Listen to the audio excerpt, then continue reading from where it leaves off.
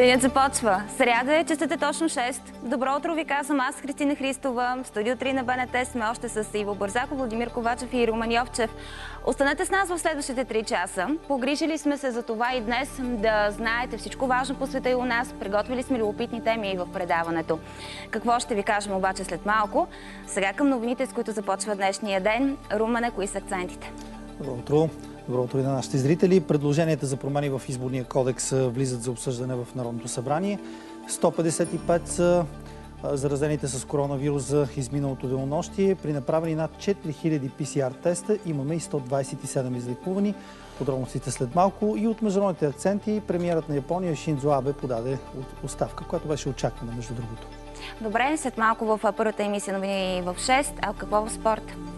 В спорта ще си говорим за това, че Левски има девето ново попълнение. Той е Валери Божинов, очаквано до голяма степен. Валери Божинов Много се завръща на стадион Аспарух. Да, точно така. Ще си говорим отново и за тенис. Какво каза Цветана Пиронкова, какво се случва с Григор Димитров и на кой турнир след Руан Гаро ще играе. Малко по-късно в спортите новини. Влади, какви са тези заплахи за време, което ще се разваля тези ни?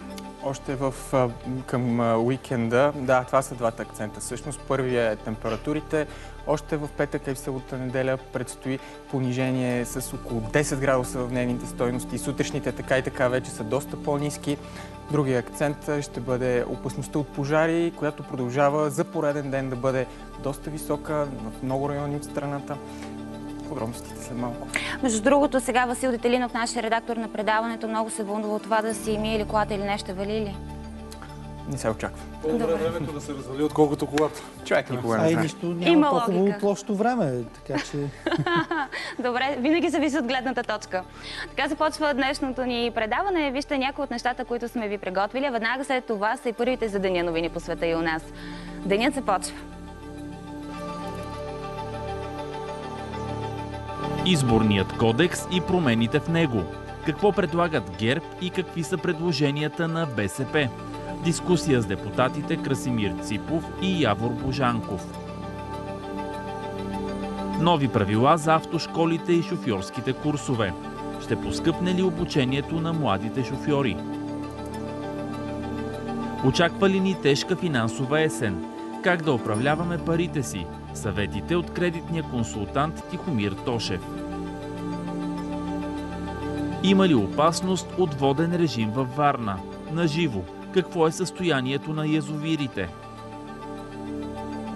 Кога ще има места за всички деца в детските градини в София? Започваме днешният обзор, Влади, на темите по света и у нас с нещо, което проследихме, разбира се, и вчера и беше акцент както в новините, така и в нашето предаване, а именно с това какво видяха камерите ни в цялата страна в началото на новата учебна година. Щастливи първокласници, родители и учители. И преобладаващо мнение, че след 6-месечна пауза всички искат да учат присъствено. Ето още за това нетрадиционно и необичайно начало и за първи път учебен ден, който мнозина ще запомнят и заради COVID-19. Още в празничния ден усилията бяха съсредоточени около това децата да контактуват колкото се може по-малко помежду си. В едно от най-големите училища в страната, столичното 32, учениците влизаха по график в различни часове от три различни входа. Първият учебен ден започна с част на класа и мерките за безопасност. Ти имаш ли притеснения днес? Малко. Защо? Заради коронавирус. Ако децата положат усилия, каквито и ние, всичко ще бъде наред. Искам децата да учат присъствено в училище. И докато четвърти клас влизаха за часа на класа, шести излизаха, но от друг вход. Ще имаме междучасия по различни времена.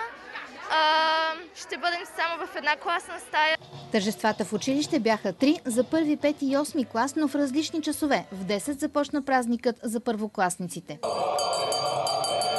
Можеш ли да четеш или още не? Мога, но по-малко. Нещо притеснява ли те днес? Трябва да носиш маска понякога? Не, нищо. Докато вървяха към стаите, учителките обясняваха на децата, че маските се слагат в коридора и се махат в клас. Родители в стаите не се допускаха. Ще се справим. Децата са изключително възпитани. Движението по коридорите ще е отдясно, всеки клас ще има своя стая и ще има кетеринг в клас, за да не се струпват много деца в стола. След като няколко часа всичко вървеше по график, към 11 все пак твърде много родители се струпаха пред един от входовете, защото няколко класа едновременно влизаха или излизаха от училище. Единственото, което ме притеснява е здравето. Да запазим здравето на децата, здравето на учителите, здравето на техните родители, баби и дядовци. 27 училище в София посрещна много по-малко ученици, общо 220. Тази година това е предимство. Лесно ни беше да се подготвим, защото мащабите на нашето училище не са големи, което ни дава известни предимства. Сградата е достатъчно просторна, има място за всички. В началните училища на Пловдив, освен дървените шатри, вече има и подвижни. Докато е топло, там ще се провежда част от заниманията на най-малките. Много съм развълнуван, защото ми се вижда много трудно да ограмотиш едно дете в първи клас, да го научиш да чете и да пише дистанционно. Надявам се да е здрава и присъства на годината за всички. Просветният министр Красимир Вълчев поздрави всички ученици с началото на новата учебна година. Той откри годината в основно училище Свети Свети Кирил и Методи в град Николаево, за да подкрепи училищата с много деца от уязвими социални групи. По време на извънредната ситуация през пролета тези училища положиха много усилия, за да провеждат компенсаторно обучение, доколкото е възможно, с всякакви средства. Много голяма част от тези училища са пренебрегнати, защото понякога не се виждат при тях усилията на учителите. Едни от най-щастливите ученици днес бяха тези от началното училище Васил Левски във Варненския квартал Аспарухово. В края на 2017 тук покривната плоча на сградата провисна и децата бяха евакуирани. След три години се върнаха в ремонтираните класни стаи. От втори клас почнахме да се местим във всякакви училища, за да може да ремонтират това. Много съм щастлива, защото просто обожавам да уча и очаквам да се запозная с много приятели, деца, да играем. И така започва една трудна и различна учебна година, която ще бъде запомнена като година на предизвикателствата. Видяхте с притеснение за носенето на маски и дистанцията в училищата. Започна новата учебна година на много места в страната. Та свикват ли с новата реалност и най-малките? Вижте. Тази сутрин 7-годишната Елиф е будна от рано, много преди майка и да влезе в стаята. Вълнението от предстоящия първи учебен ден е завладяло цялото семейство. Какво най-много искаш да се случва там? Госпожата да е добра и ние да сме добри към нея. Трябва да си мием ръцете с сапун всеки път, когато идваме отвънка. И да спазваме дистанция. И във всяко едно междучасие, когато отиваш до туалетна и се храниш, в столовата си слагаш маската. Разбрахме ли се, мамо? Да. Няма да си сменяш маската с никой. На никой не се дава маската, нали знаеш, мамо? Майката на Елиф е посетила предварително класната и стая и дори е разгледала кабинета за изолация. Аз съм ми обяснила и на Елиф, нали, ако се наложи, ако има температура, нали, че там трябва да изчака мама и тати и да не се притеснява. Макар и само за първокласници, днес на училищното тържество бе трудно да се спазва дистанция. За напред обаче всяка паралелка от началния курс ще се храни по-отделно в стола, ще има самостоятелна зона за игра на двора, както и различно междучасие. И към тема, която е основна и за нашето предаване днес, в студиото ни ще коментираме темата за изборния кодекс. Вчера правната комисия отхвърли създаването на глава в изборния кодекс, която регламентира избор на Велико народно събрание и въвеждане на смесена система. Единствено ГЕРБ гласува за, всички останали парламентарни групи не подкрепиха предложението. Комисията прие предложенията на управляващите за гласуване с машини и бюлетини в секции с над 300 избиратели. Възложиха на ЦИК отговорността по осигуряването на машините. Коалиционните партньори очаквано не подкрепиха ГЕРБ по темата Велико народно събрание. Те не са съгласни с смесената система, която включва мажоритарен и пропорционален вод. 200 народни представители в Велико народно събрание да се избират пропорционално, 200 мажоритарно и то само в един единствен тур ще доведе до благодетелстване на големите политически сили, ощетява малките партии. Ние си отстояваме, стоим зад него. Това е предложение, което беше изразено и в, по отношение на референдума от гражданите за мажоритарния избор и основно в, това сме съсредоточени. Повече представителност, повече гражданско общество в евентуално във Велико народно събрание. В комисията само от БСП защитиха изцяло машинното гласуване. Този закон имаше за цел да направи необратимо машинното гласуване и да изчисти някои от проблемите, които Централната избирателна комисия беше установила следствие на проведените през годините експерименти. Вместо това той връща назад вече постигнатото и внася допълнително объркване. От ДПС отново припомниха, че в сега действащия кодекс те са предложили 100% машинно гласуване и влязоха в спор с БСП за вида на машините. От движението смятат, че една от най-добрите машини за гласуване е сканиращата. Винаги сме били оставаме на позицията, че а, секционните избирателни комисии не бива да броят, не бива да отчитат резултат, това трябва да го прави машина. Но може и да не се натиска копченце. Може машината да брои, да сканира и да връща не, не, не, неправилно попълнената бюлетина. Опозицията не подкрепи предложението на управляващите отговорността за машините да се възложи на ЦИК. Отпечатването на хартиените бюлетини, машинното гласуване и свързаните с тях дейности се възлага и контролира от Централната избирателна комисия. Няма как на Министерски съвет да се възложи нещо, което е коренно различно от това, което е предвидено в момента в действащия закон. Правната комисия отхвърли за пореден път предложенията на ДПС, свързани с прага на преференциите и искането им да отпадне задължителното гласуване. Както ви казах, днес в предаването ще коментираме тази тема. Депутатите ще трябва да приемат новите изборни правила. Само ви припомням, че БСП заяви, че няма да се регистрира в зала. Само единствено темата за изборния кодекс може да върне депутатите в парламентарната зала на заседанията за изборния кодекс. Така че дали днес БСП ще осигури кворум или изобщо ще се регистрира, също ще проследим в ефира на БНТ. Очакваме, между другото, и една друга много важна новина, която още вчера трябваше да стане ясно. Вчера до 18 часа вечерта трябваше да бъде ясна и номинацията за нов председател на Централната избирателна комисия. Този срок изтече и такава номинация не чухме. Та днес в нашето предаване гости ще бъдат Красимир Ципов от ГЕРБ и Явор Божанков от БСП. Именно ГЕРБ трябваше да направят своята номинация. Защо не се я направили и ще я направят ли? Това част от, са част от въпросите, които ще зададем малко по-късно и разбира се всички детайли около изборното законодателство. Защо отново сега в последния момент се пренаписват правила и в крайна сметка по какви правила ще се произведат следващите избори, независимо кога ще са те, дали пресрочни или редовни. Но сега към един друг сюжет, който също проследяваме както в новините по света у нас, така и в нашето предаване. Делото срещу Лютви Местан за катастрофата, при която загина 6-месечно бебе. То беше върнато за допълнително разследване на прокуратурата. Инцидентът стана на разклон край село Загорско преди около година и половина. Близо три часа продължи разпоредителното заседание. Съдът отхвърли искането на Лютви Местан за отлагане на делото заради липса на време, той и защитникът му да се запознаят с материалите. Магистратите приеха обаче, че са допуснати редица процесуални нарушения в хода на разследването и върнаха делото на прокуратурата. Адвокатите на семейството на загиналото бебе отказаха коментар.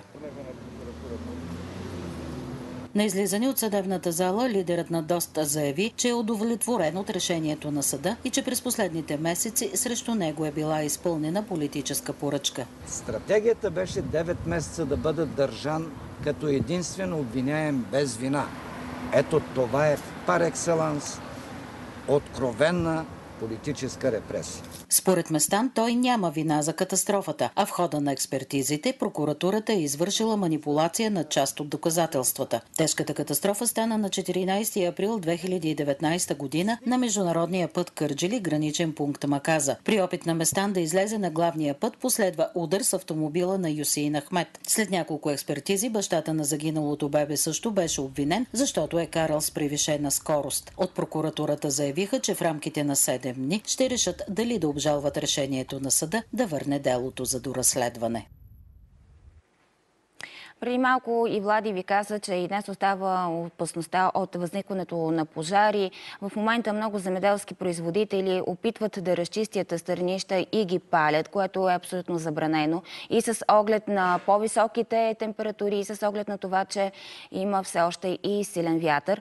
Продължаваме да следим обстановката с пожара на границата между областите Стара Загора и Хасково.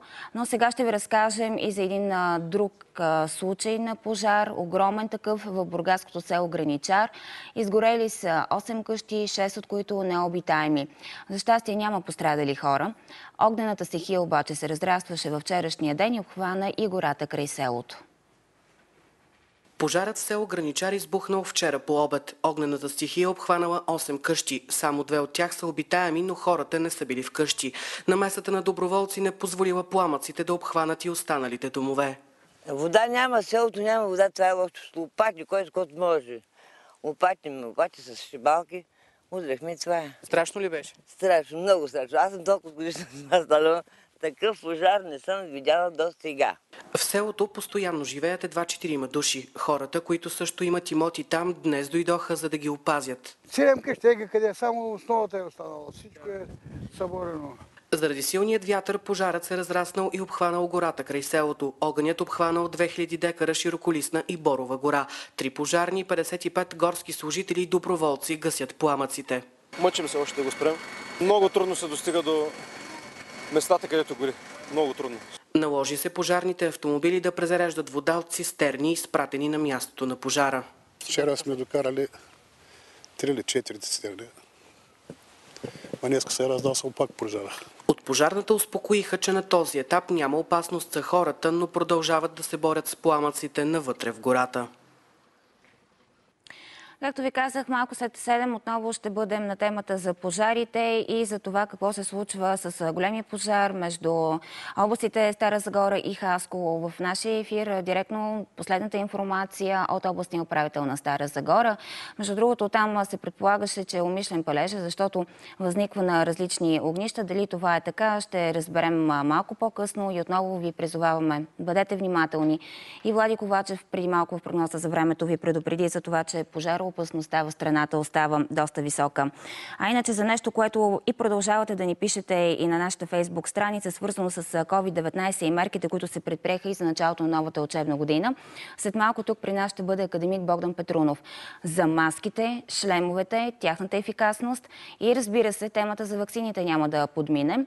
Между другото, едни от сигналите, които доста често разглеждаме в нашия ефир, са именно за това, че хората не са много добре ориентирани, освен на личния си лекар, на кого друг могат да се обадят при първи симптоми, било то висока температура или някакви други. Та днес ще ви разкажем отново за открития координационен център. Знаете за този анонс, който бяхме направили заедно и с министра на здравеопазването какво точно се случва там, кой може да отиде в координационния център, да се свърже с тях и каква помощ може да получи. Малко по-късно в нашето предаване.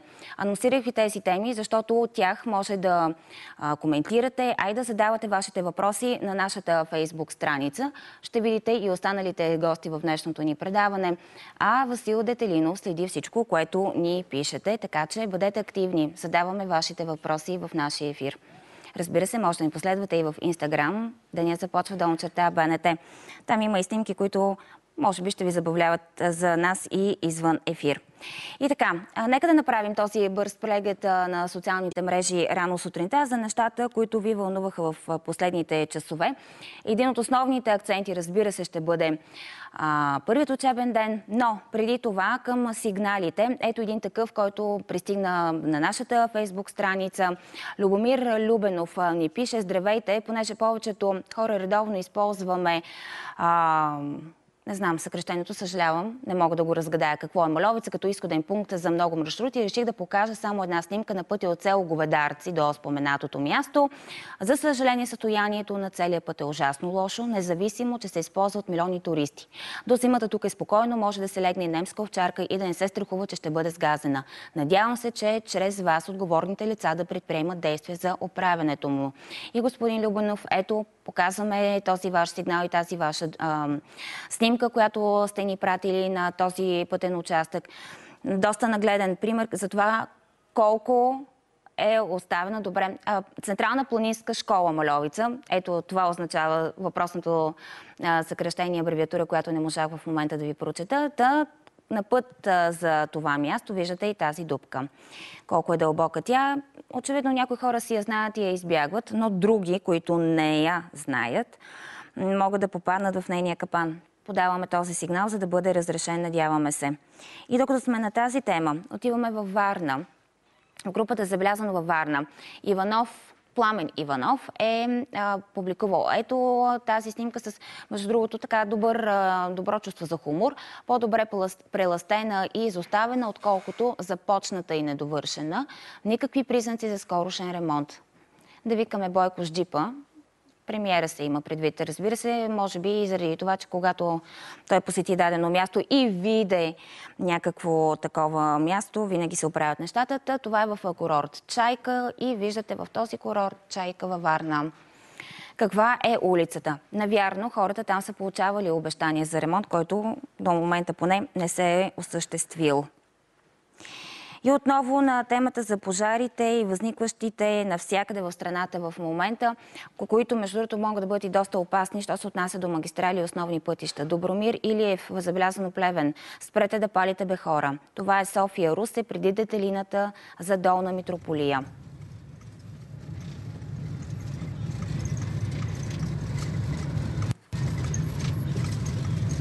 Да, виждате колко гъст дим се стене над, над пътя и наистина колко опасно може да бъде за шофьорите. Да не говорим за другите неща, които вече бяха изборени в нашия ефир. предупреждаваме отново, разбира се, че ако бъдат открити и хората, които палят стърнища в този един момент и заради тях възникват пожари, могат да носят и наказателна отговорност. Прехвърляме се в Пловдив с ето този сигнал на а, Даяна Реслич или Беслич, по-скоро извинявате, по повод колите, които паркират така, че нито пешеходци, нито майки с колички могат да преминат, пише тя. Оставяме атмосфера. Трябва да вървят къде? На платното. След два сигнала в първо РПУ все още няма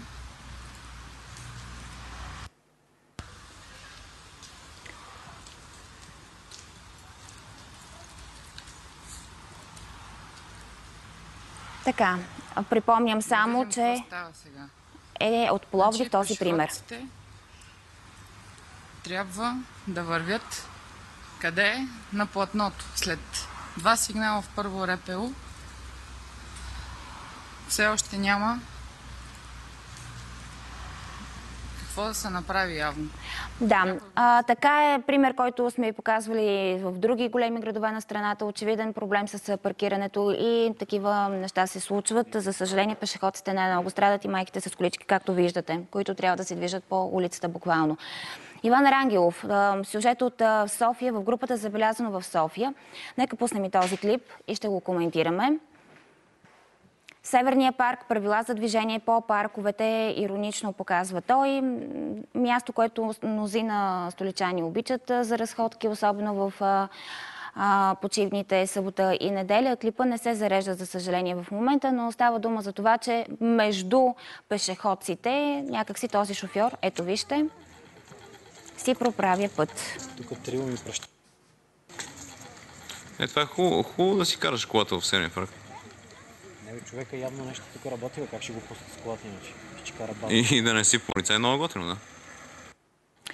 Да, предположението, че човека там работи или има някаква основателна причина, така или иначе в паркове знаем и алеи не се кара. Така, а, и а, обещания сюжет а, от първият учебен ден, с усмивка, разбира се, в вчерашния ден доста родители се поздравяваха с различни колажи. Евелин Стефано в групата Люлин Учебната година е била като бременността, трае 9 месеца, като първите два е еуфория, а после започва да ти се повдига. Успешно да е. С ето този колаж. Още нещо любопитно. Наистина, богато въображение проявиха немалко хора в вчерашния ден. А, сега ще ви покажем още нещо. Та, ето така, добро утро и как някои родители и може би един ден ще си изпращат децата на училище или детски градини. Виж колко са сладки в училищните униформи. С едно намигване за това какви мерки за безопасност в момента се предприемат в училищата, свързани и с пандемията от коронавирус. Скафандри, дано не се стигне до там. Въпреки, че вече започваме да свикваме с тези сюжети. Толкова от социалните мрежи. Кратките новини с Румен. Изборният кодекс и промените в него. Какво предлагат ГЕРБ и какви са предложенията на БСП? Дискусия с депутатите Красимир Ципов и Явор Божанков. Нови правила за автошколите и шофьорските курсове. Ще поскъпне ли обучението на младите шофьори? Очаква ли ни тежка финансова есен? Как да управляваме парите си? Съветите от кредитния консултант Тихомир Тошев. Има ли опасност от воден режим във Варна? Наживо. Какво е състоянието на язовирите? Кога ще има места за всички деца в детските градини в София?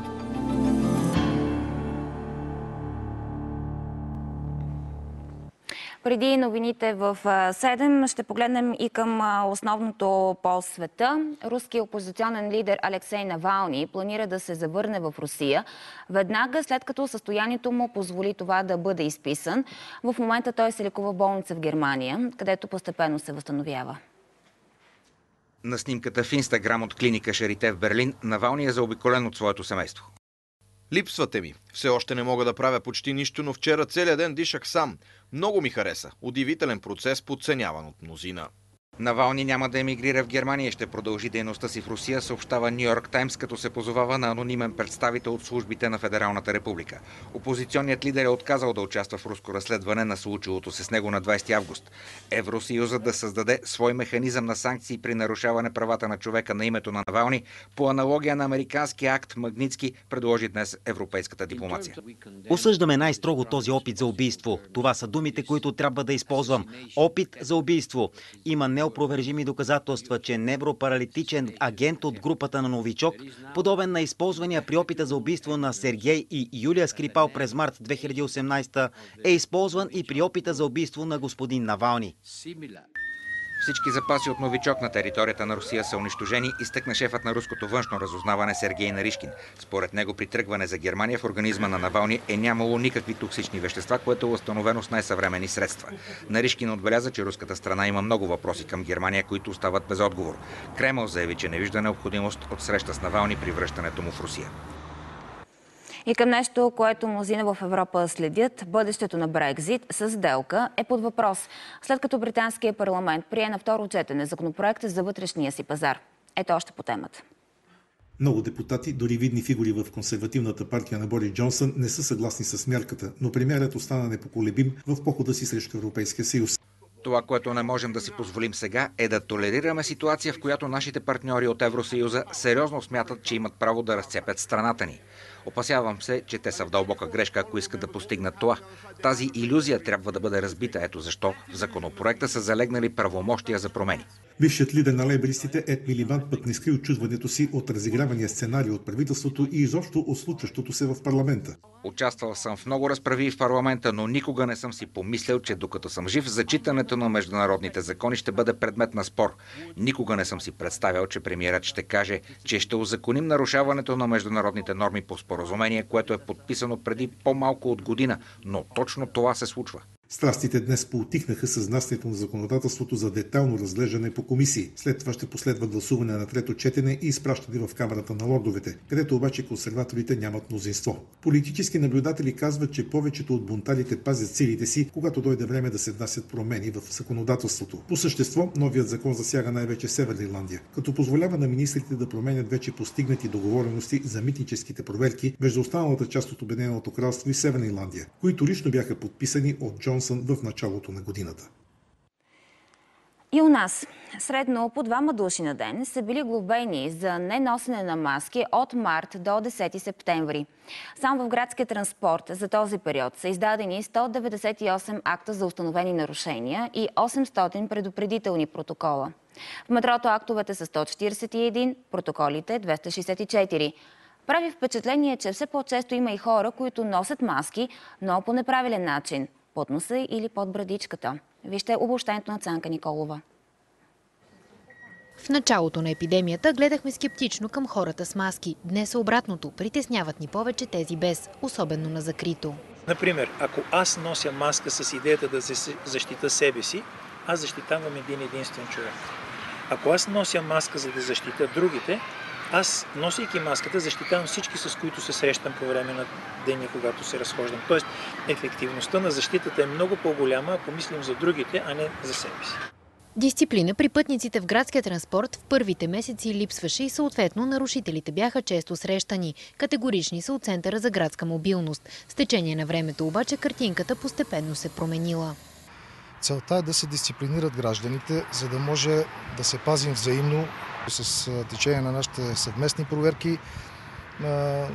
Така, може би до минимум се сведоха нещата по отношение на нарушенията. Месеци след въвеждане на заповедта все още има хора, които я пренебрегват. Контролерите обаче нямат право да глобяват, а само да напомнят на пътниците да носят маски. На празен рейс не ми се носеше маска. Не е важно обаче само да носим маска, а и да я носим правилно. Защо маската не ви е на лице? Ами току-що си свалих, излизайки от а, а, влака. Разсе, разсеяност, някаква разсеяност, извинявам се. В големите търговски вериги картината е като тази в градския транспорт. В магазините само трябва да си с маска. На всяко закрито пространство, дори и тук. Знаех, благодаря за информация, ще я сложа. Хората все повече свикват да носят своите маски като нещо съвсем естествено. Доста често хората остават по инерция с тях и след като излязат от търговския център. Според Закона за здравето, всеки, който не спазва наложените от министъра на здравеопазването противоепидемични мерки, се наказва с глоба от 300 до 1000 лева, а при повторно нарушение от 1000 до 2000. Стари богослужебни книги от средата на 18 век се пазят в черквата Свети Свети Петър и Павел в Добринище. След близо 3 века те продължават да бъдат четени и днес по време на църковните служби в храма. Старите богослужебни книги от епохата на Възраждането, които и днес се използват в храма Свети Свети Петър и Павел в Добринище, са с напълно запазена хартия. Съхранени във времето са и всички страници и букви. Направени от подвързия с дърво, облечена с телешка кожа, украсена с замба и характерно, че има сребърни запечалки, за да не се изкривяват по време на пренасянето и употребата. Върху страниците на свещените книги още се виждат восъчни следи. Някога Божието Слово се е чело под светлината на свещи. Според това какъв е годишният цикъл, са запазени 12 минея, според месеците на годината, октоиси и най-старите са постния и цветния триод. В храма се съхраняват и ценни икони от по-старата черква Успение Богородично, спасени от огнената стихия при опожаряването му по време на Балканските войни. Някои от тях са изографисани от майстори на Банската школа, сред които и нейният основател Тома Вишанов Молера.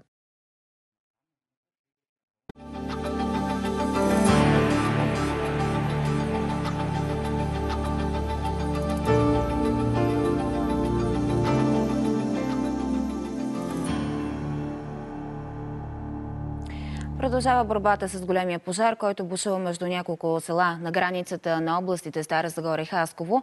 Той обхвана, знаете, хиляди декари, смесена гора, треви и храсти. Няма опасност за хората и населените места. Десислава Петкова следи ситуацията и към този час с последни новини я включваме отново. Деси, здравей!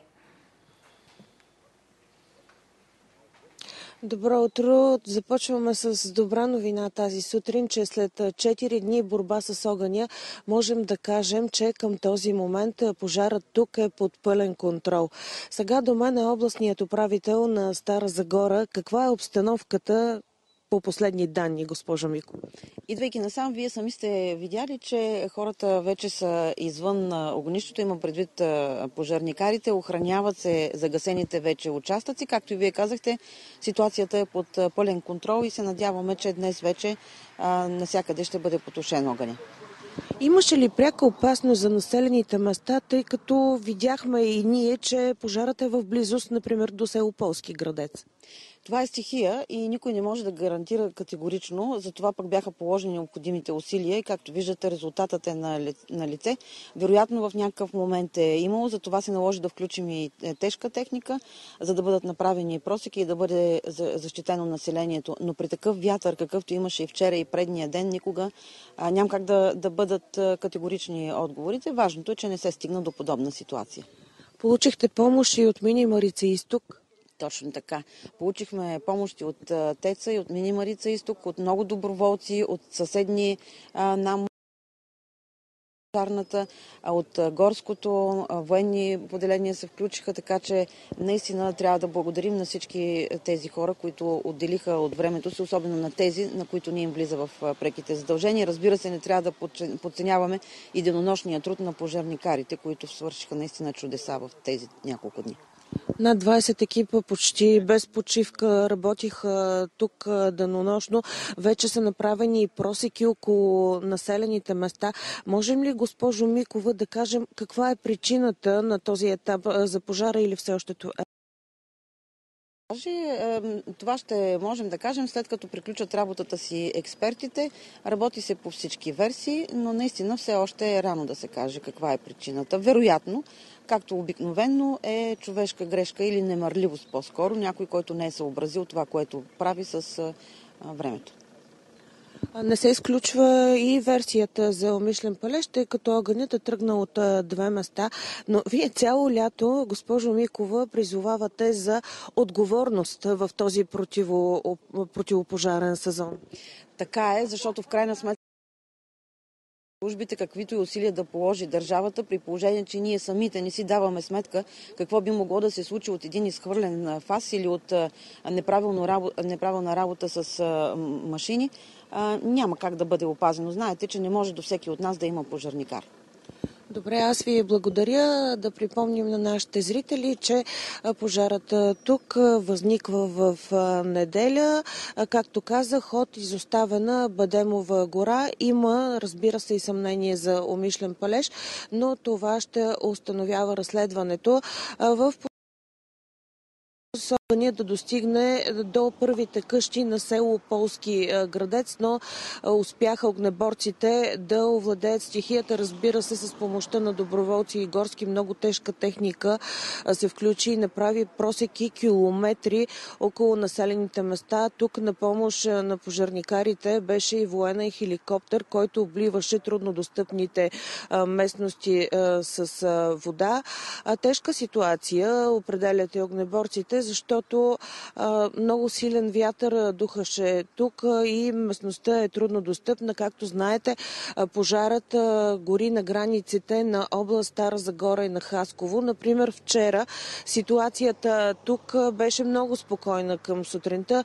На обяд дори можехме да кажем, че пожарът е овладян, но обстановката се осложни в следобедните часове, а пък и времето не беше на страната на огнеборците, тъй като вятърът около 16 часа вчера беше 34 км в час, което е с много силни пориви и допълнително разпалваше огънят, температурата достигна до 36 градуса, но въпреки всичко успяха да се справят цяла нощ. Тук имаше дежурни екипи. Все още не можем да кажем с точност колко е засегната площ, но по предварителни данни това са над 20 000 декара борова, широколистна гора, сухи треви и храсти.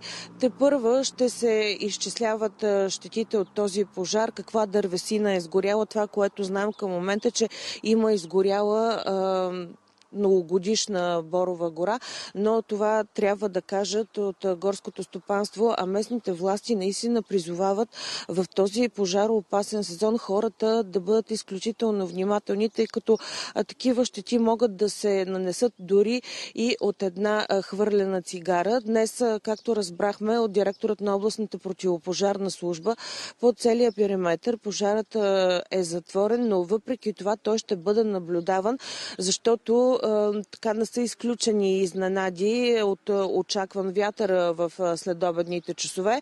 Това, което разбрахме и че от към Хасковска област този пожар е овладян. Това е колеги от нас. Благодаря ти, Деси. За съжаление, в края на всеки летен сезон отчитаме именно какви огромни пожари понякога са се случили и, както виждате, и за пореден път унищожават хиляди декари и голистна и широколистна гора. Отново ви призоваваме. Бъдете внимателни. И за днес и в следващите дни има опасност от възникване на пожари. Както ви казах, продължавате да ни пишете с различни въпроси, свързани с разпространението на коронавируса у нас. Особено в контекста и на започналата вече нова учебна година. И когато вече учениците се върнаха в класните стаи. Та, отново за важните неща, които трябва да знаем, за смисъл от спазването на мерките, ще говорим в следващите минути. Тук вече академик Богдан Петрунов, имунолог и алерголог. Познавате го добре и преди сме разговаряли с вас. Здравейте, радвам се отново да ви видя в нашото Благодаря. студио. Много ми е приятно и на мен. А, като за начало, вашето мнение, академик Петрунов, правилно ли беше решението учениците да се върнат в класните стаи? Да, аз го казах няколко пъти вече в е, така общественото пространство, че това е необходимо. Това е неизбежно, иначе ние просто няма да имаме възможност да осъществим истински учебен процес. С мерките, които се взеха, с тази така много сериозна така съвместна работа на Министерството на образованието и на Министерството на здравеопазването, аз мисля, че учебната година правилно започва и, би, би трябвало, ако се спазват тези мерки, да протече нормално. Разбира се, никой не е изключено в хода на годината да има случаи на заваразяване, на случаи на затваряне на отделни класове, на правене на карантина на отделни места, но това е неизбежно. Не са ли прекалени обаче? И дори вчера в първи учебен ден видяхме ограничени на родителите, например, да не влязат в класните стаи, особено на първокласниците, но в същото време пък отвън огромно струпване и на ученици, и на родители. Да, права сте. Това е вече въпрос на самодисциплина, въпрос така на разум в цялата тази организация. Вие виждате, че не само в НЕС, мерките, които са взети в нас, според мен са едни от най-меките в цяла Европа. Много по-строги са мерките, които се взяха в другите европейски страни. В Австрия, Австрия Франция, Германия, Великобритания, Испания, в Израел – просто и пълно затваряне на, на живота, ако мога да кажа, има. Ученици... Там, между другото, става дума и за втора вълна на вируса. А, определено, определено. А при нас има ли така, такава опасност? Ами, аз мисля, че тя е неизбежна. Разбира се, че ще има такава вълна, особено с настъпване на есенно-зимния период, когато ще дойдат и вирусните, други респираторни вирусни инфекции, на първо място грипа, но все само грипа, имам още много други вирусни инфекции. Това е неизбежно, ще се получи такъв пик на ново. Аз, ако разрешите да покажа, да, това покажете. са данните на Световната здравна организация от вчера за Европа. Това представлява една... Може да покажа на камерата срещу вас, да, за да се види добре от нашите да зрители. Види, да. Нали, това е кривата на развитието на заболеваемостта в и инфекцираността в Европа. От месец март до, до вчера. Вие виждате след един пик в месец март, едно ниско ниво някъде около юни месец, след това започва на ново увеличаване, което продължава неизбежно и до вчера, както се казва. Един, просто една много ясна крива, която показва, че има увеличение на Кои са страните в момента, в които са най-критични? Но от най-критичен смисъл... Е, с най-много заболеваемост в момента. В, в, за Европа, в Европа само. Да. На Европа на първо место Испания. Испания и Франция. На първо място, няма никакво съмнение, те вече отдавна там е много висок процент и на, на, заболем... на смъртността. Едно, за да... Тук мисля, че е интересно да се каже тази така ширеща се нали, идея, че младите хора не боледуват и че те по-леко прекарват всичко и че просто всичко ще бъде наред с тях. Това съвсем не е така. Преди няколко дни, преди два дни излезе едно голямо проучване в Съединените щати върху 3900 хора на възраст от 18 до 34 години от нью-йоркските болници, които са били с доказана инфекция, т.е. с всички с положителен ПСР. От тези 3900 близо е, хора, се оказа, че 20% е било необходимо да постъпят в болница на лечение. От тях 10% е било необходимо да бъдат положени на допълнителна кислородна терапия, интубация. И което е жалкото и страшното, 2,7% от тях са загинали. Това са едни много сериозни данни, които показват, че На този няма фон, ние помощ. как овладяваме ситуацията в нашата страна? На какво се дължи? А, възползвам се от това, че сте тук да коментираме едно последно проучване в Нидерландия, Да. че задължителната у нас БЦЖ вакцина показва, че е мощен Мгм. имуностимулатор, което е основното значение при борбата с COVID-19. Да, Да. вярно ли е? Да, Това, между другото, в самото начало Да. беше като тест, но сега Сега е има вече достатъчно данни. Разбира се, много са факторите. Това е един от факторите. Че страните, в които да беше провеждана дългогодишна, 10, 20, 30, 50 години вече е, БСЖ иммунизация, е, по-леко протичат заболяването. Това са страните на източна Европа. Определено. Са включително, включително и България.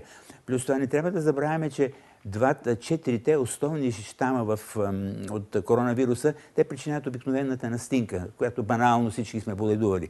Получава се един кръстосен имунитет и по този начин хората много по-лесно, които прекарват такъв тип настинка, казвам в кавички, ще прекарат и по-лесно една COVID, COVID инфекция. Безспорно това е един от факторите БСЖ вакцината. вакцината категорично помага в да, тази ситуация това няма никакво на съмнение. Данните в Нидерландия го показаха. Това си беше също сериозно проучване, което с няколко стотин лекари и медици, студенти, които бяха иммунизирани, се оказа, че те имат стимулиран клетъчен имунитет, че имат по-малко процент на заболели между тях, което е сериозно доказателство. Ако погледнем още към картината в нашата страна, според вас на какво се дължи това, че има области и градове, в които няма нито един случай до момента регистрирана заболеваемост, а в други има доста. Да, вижте сега, това са си нормалните епидемични процеси. Е, няма, трудно ще бъде дадено така сериозно научно обяснение. Много са факторите. Зависи от начин на живот. По-затворените места, които живеят по-затворени общества, казвам, на общо общества, на, на едно място ще бъдат много по-малко инфектирани. Тези, които имат по-живот по-така обществен, по-изложен на контакти, на пътувания, те ще имат по-често ще боледуват и ще се заразат. Трудно е да се каже. Ще бъде присилено и така, спекулация ще бъде но факта е, че има такива места, това няма никакво съмнение. Що се отнася до вакцината, така дълго коментираната и очаквана разработки на различни страни и така mm-hmm. нататък. А, и говорихме преди малко и за деца. Когато тя се появи, когато и да е да. това. Трябва ли децата да бъдат вакцинирани, след като прекарат доста леко, ако изобщо се заразяват? Аз мисля, че това ще зависи от показанията на вакцината.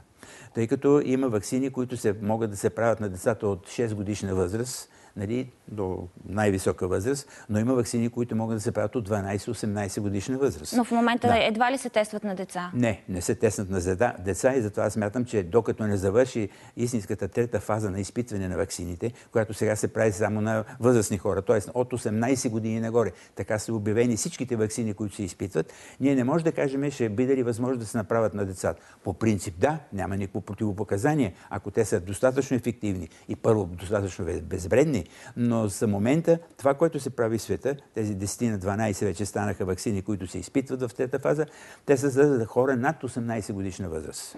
Тази вакцина, за която дълго също сме коментирали а, от Русия, която вече mm-hmm. не, малко страни започнаха и да а, поръчват, според вас а, тя достатъчно безопасна ли е? Нашата страна, например, имаше въпроси и на нашата фейсбук страница, защо ние не, не сме си поръчали, а пък чакаме обща поръчка европейска.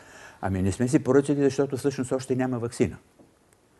Нали, като биологичен продукт, вакцината, аз повтарям постоянно, той е създаден. Това не е проблем. Както и в Русия, така в Штатите, в Китай, в Европа. Това е факт. Въпросът е, че за да имаме истинска вакцина, тя трябва да мине всички тези сериозни изпитания, които са съгласно с международните изисквания. Тези три фази, тази те са четири фази, защото има фаза четвърта след маркетингова, която се казва. Тоест след като започне приложението на вакцината, да се види как действа, продължително време се наблюдава.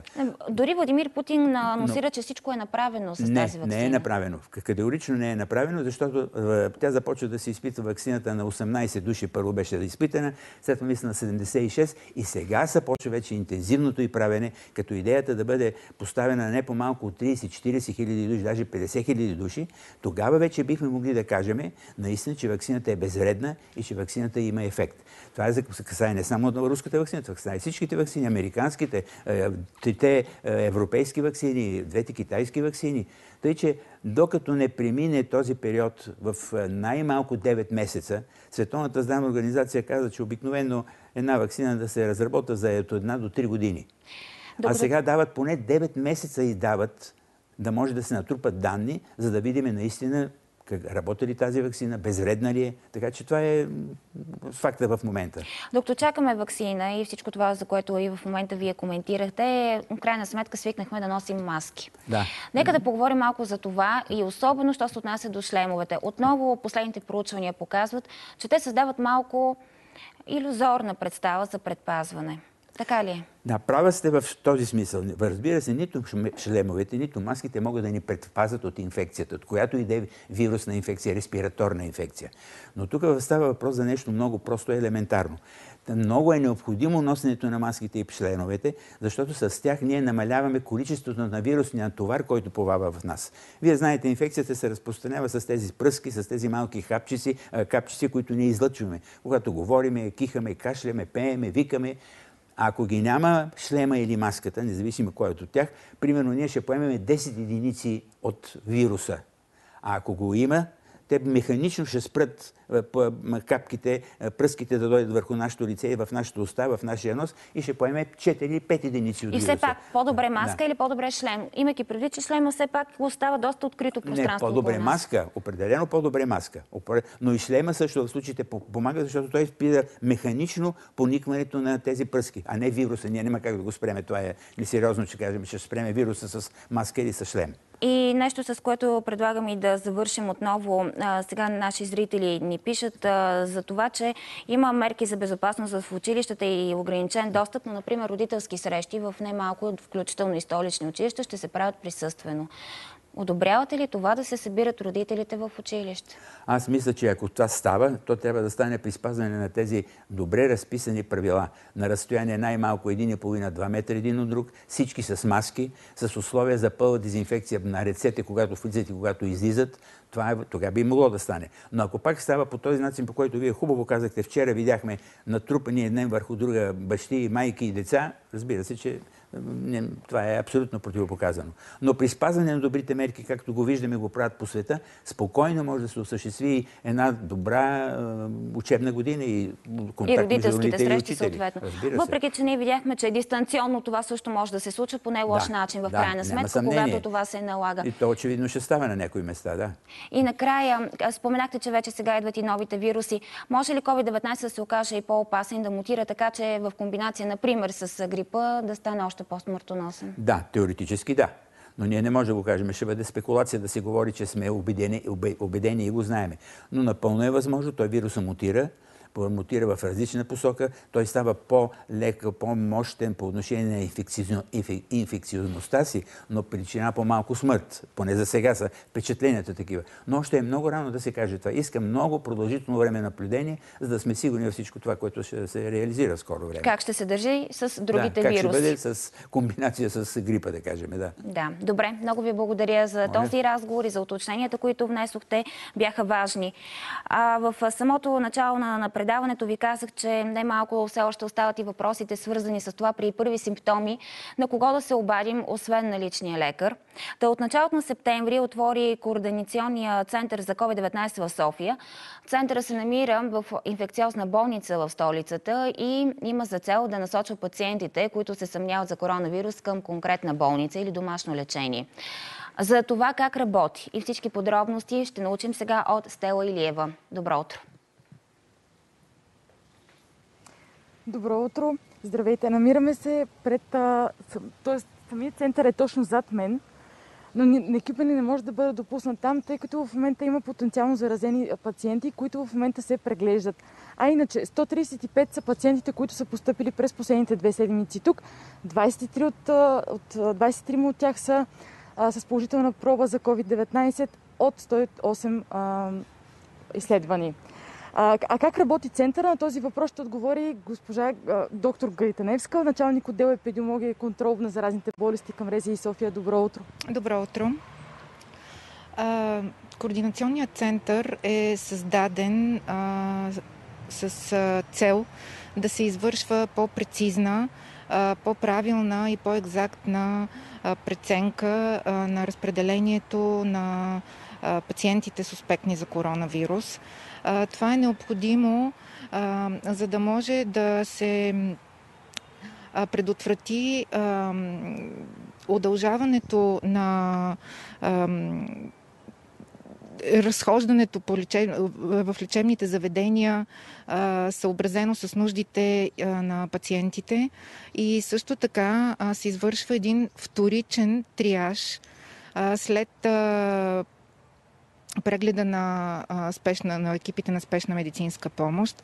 Извършва се адекватен преглед, екзактен преглед на място, а, необходимост от изследване, ако това не е направено и след това преценка съобразено с нуждите на пациентите. Съобразено... За колко време правите тази преценка? Тоест, когато постъпи пациент при вас, колко време трябва да се определи той дали е с коронавирус или не? Не се определя веднага дали е с коронавирус. Необходимо е да се направи, необходимо е да се направи а, вторичен и по-прецизен преглед. Преценява се има ли нужда човека да се изследва, тъй като има голяма вероятност той да има вече диагностицирана коронавирусна инфекция. В екипите а, са включени а, експерти на регионалните здравни инспекции Столична и София област, които имат достъп до а, Националната информационна система за коронавирус. На място на момента се проверява дали пациентът е изследван и диагностициран с коронавирус. Ако този човек вече е изследван и е диагностициран, няма нужда от изследване, съобразено с състоянието моментното, здравословното и а, също така след а, провеждане на преглед, ако а, човек има някакви придружаващи допълнителни заболявания, които могат в последствие да осложнят инфекциозния процес, се прави прецизна и екзактна преценка към кое лечебно заведение да бъде насочен и хоспитализиран съответно пациента или ако няма такава нужда, той бъде, ще бъде насочен за домашно лечение и наблюдение от общопрактикуващия лекар. А, колко, колко души екип се, се грижат вътре, в смисъл лекари? Центърът работи 24 часа в денонощието, 7 дни в седмицата. Екипът се състои от лекар, медицинска сестра, санитар и двама експерти на РЗИ, които всъщност извършват първично епидемиологично проучване, в което е необходимо след това на епидемиолозите от Рези да извършат по-нататъчното епидемиологично проучване и всъщност същинската работа, която след това следва. Също така те получават ежедневно информация от лечебните заведения за свободните легла от болниците. И така по този начин ние знаем къде, в кое отделение или клиника, колко свободни легла има, за да може да се спести това първоначално забавяне на екипите на Центъра за спешна медицинска помощ за транспортиране и хоспитализация. Добре, само искам да ви попитам, а самите прегледи и PCR тестовете безплатни ли са? Разбира се, че са безплатни. Тоест, де факто всеки, който има някакви симптоми, нали, ако дойде тук, може да бъде прегледан напълно безплатно. Така, а, имам един апел. Разбира се, че всеки а, нуждаещ се, всеки човек, а, всеки а, има, има достъп, има право на достъп до а, тази услуга. А, но нека не забравяме, че а, имаме още практикуващи лекари, лекари и специалисти. Център за спешна медицинска помощ, които а, е редно да направят първоначалния преглед, първоначалната консултация, за да се прецени дали човек има нужда да бъде а, транспортиран до тук. Стела, Стела, още един въпрос. Да, имаме от студиото. Нека да. направим едно обобщение. Възползват ли се много хора от този координационен център и какви търсят помощ там? Например, ние имахме много сигнали за разтревожени родители. Деца ли предимно се преглеждат там или всеки, който има симптоми, може да отиде?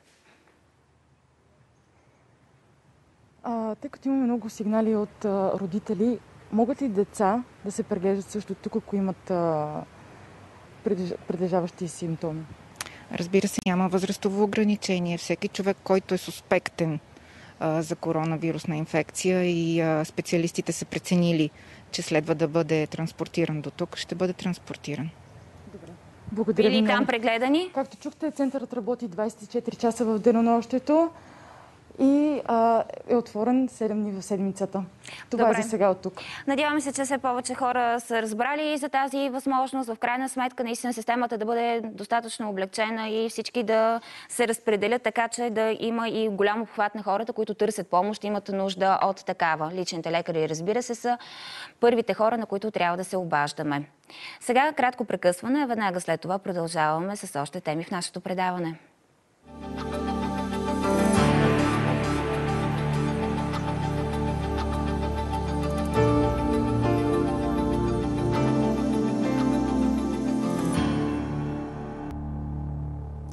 Над 10 000 деца в София все още не могат да посещават детска градина, защото липсват места. Въпреки приетото решение да се компенсират финансово родителите на тези деца, това не решава проблема кардинално. Затова и дебатите продължават.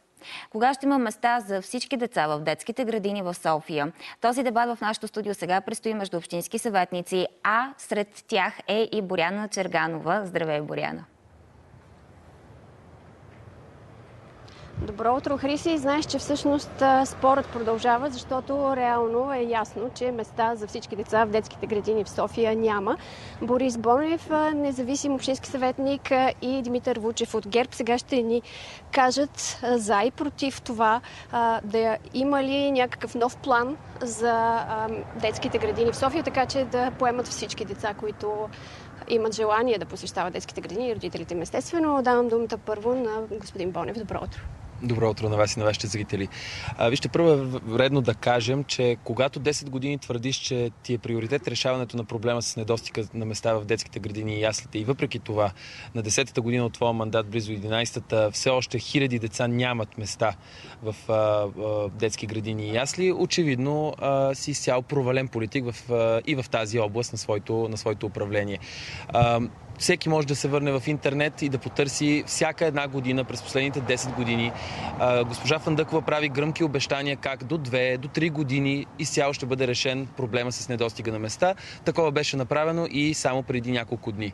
И виждаме какъв е резултата. Всяка година много, много деца остават извън системата на общинските детски градини и ясли и родителите им, ако имат тези средства, са принудени да ги да плащат за частни детски градини, което Uh, it тежко економическо последствие върху, върху тях самите. Това създава и социални проблеми, тъй като води до това, че един от двамата родители понякога се налага да напусне своето работно място, за да може да гледа децата, ако няма други роднини, с които да, да правят това. Така че проблемът е не само социален, той е економически и очевидно няма воля той да бъде решен, след като и на протеста само преди а, два дни а, част от а, представителите на протестиращите излязоха по-рано от, от срещата, която се провеждаше в общината, бесни и казаха, умръзнани да чуваме ще, ще, ще, ще, ще. Очевидно е, че тази администрация няма намерение да решава проблема. За сметка на това обаче, аз внесох доклад, който цели постигането на първите стъпки по решаването на този проблем, а именно събирането на динамична информация за реалният недостиг на места по райони от районните кметове, както и това е първото реално действие, което позволява на скоро направените промени в националната наредба за, за сградите на детските градини да, бъде, да бъдат вкарани в, в, в, в сила, като сме предложили в моят доклад конкретни сгради, които в момента се използват за други цели, като например сградата на общината в район Изгрев, сградата на дирекцията за данъците в район Изгрев. Това са бивши сгради на детски градини или ясли, които да бъдат отново трансформирани в нови сгради за детски градини. А, господин Вучев, желание за промяна очевидно има с нагласата да се изграждат нови детски градини, да се разширяват съществуващите. Защо обаче, наистина, както казва господин Бонев, до сега проблема не се решава и всяка година всъщност с увеличаването на броя на децата в София проблема се задълбочава? Децата са основният приоритет на София, безспорният приоритет на София и доказателство за това нещо е свършеното в последните години. Над 100 са новите сгради в рамките на столична община, такива, които са новопостроени такива, които са с обновена вътрешност или обновена, обновена фасада. Разбира се, и в момента аз в ръцете си държа списъка с сградите, новите, които се строят. Детските градини в момента са в строителство 17 на брой в различни райони. Част от тях са, понеже имаше много такива атаки, част от тях са в райони, на които районите кметове са от ГЕРБ или СДС. Друга голяма част, по-голямата част, мога да кажа, са в райони, които са на кметове, които в момента не са в обхвата на ГЕРБ или СДС. Така че работи се изключително активно. От началото на годината има разкрити над 900 места само до 15 септември, до вчерашния ден. До края на годината ще имаме още над пет сгради построени, така че работи се активно по темата. Иначе по отношение на предложението на господин Бонев, аз благодаря, че той изкарва конкретни предложения, защото много други колеги говорят много общи приказки. Разбира се, но все пак по отношение на неговото предложение, което и той спомена, свързано с това част от административните сгради, които са в районите Люлин, Изгрев, да бъдат освободени от администрацията и там да попаднат нови детски градини. Добре, Разбира това се... число, което вие казахте, броя детски градини, които предстои да бъдат построени, ще побере ли тези 10 000 деца, които в момента са извън системата? А това според данните не са всички деца в София, които искат да посещават детска градина. На първо място бройката не е 10 000. На първо място бройката към настоящия момент, по данни от края на месец август, е 5500 деца. По-голямата част от тях са в яслена възраст. Както добре знаем, яслата не е в обхвата на столична община. Това е услуга, която а, не е в, в обхвата на нашата община. Разбира се, има, има една група от деца, която, за съжаление, не успява в момента в първа група да попадне в, в детска градина, което, разбира се, с тези нови детски градини ще бъде решено като проблем. Госпожа Фандъкова ясно заяви, че в рамките на следващите две години този въпрос ще бъде решен. Това е много важен въпрос. 5 или 10 хиляди са децата. Реална статистика има ли за това колко деца в София не посещават детска градина? Господин Бонев, вие изнесохте данните 10 хиляди. Само ще дам пример, че с моят екип поискахме по закон за достъп до информация информация от всички районни кметове за броя деца, които са в възраст за ясла или детска градина. И имаше такива, които нямаха тази информация. Тоест, данните, които, се, които циркулират така или иначе, те бяха цитирани и от протестиращите, няма как да са напълно официални. Просто защото наистина статистика няма. Но числото от 10 000 е на база на динамиката, която се случва през последните последните години, на тези, които са в частни детски градини, на тези, които са неприети, на тези, които са въобще не записани в системата. По отношение обаче на строителството на нови детски градини, искам а, много ясно да кажа нещо. В най-презастроените квартали, като Кръстова Вада, като Витошавец Симеоново, Манастирски ливади, има много терени, които в подробните устройствени планове са отредени за строителство на детски градини. Само, че повече от 10 години столичната община не предприема действия за отчуждаването на тези терени и за строителството на тези детски градини. Какъв е проблем? Проблемът обаче, както а, и с зелените площи, така и с тези терени, има срокове, от отредяването на тези терени за детски градини, в които общината е длъжна да ги отчужди. В момента, в който тези срокове изтекат, а те изтичат в рамките на следващите няколко години, всеки един собственик има право да поиска изменение на подробния устройствен план и там вече вместо детска градина да има сгради и блокове. Ето това отново е един от провалите, които не се които Господин се Бонев, заповядайте, заповядайте списъка с детските градини, ще се запознаете, ще видите, че в Кръстова Вада ще видите, че... вече години наред, която не се довършва. Се, разбира се, има ангажименти на районните кметове. Един такъв а, чудесен пример е детска градина в Лозенец, която вече една година не може да бъде довършена от районния кмет, макар че тя е стартирана по време на предишното управление. И между другото, нека да споменем и един друг факт. В последната сесия на Общинския съвет преди лятната пауза ние взехме едно решение тези 1500 места, които бяха специално за децата с специални образователни потребности, да бъдат отпуснати в следващите класирания за всички останали деца. Господин Бонев и представителите на Демократична България не участваха в това гласуване. Те отказаха да влязат в зала. Така че все пак нека не говорим а, и за, така, за говорим и, да говорим и за конкретни действия. Такива, разбира се, понякога липсват и от нашите противници, а ние искаме конкретика. Такава не получаваме. Ще представителите на ГЕРБ се оправдават напоследък с новите районни кметове, но нека на всички да е ясно, че те са районни кметове от по-малко от година. За сметка на това, предишните 9 районни кметове във всички тези най-проблемни райони бяха именно представители на управляващата партия ГЕРБ.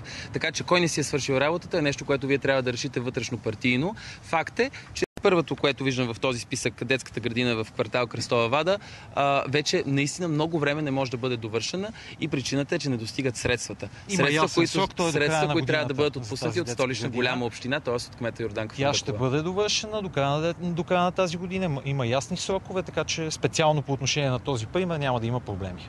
Добре, спорът очевидно ще продължи не само тук пред общината и в Общинския съвет.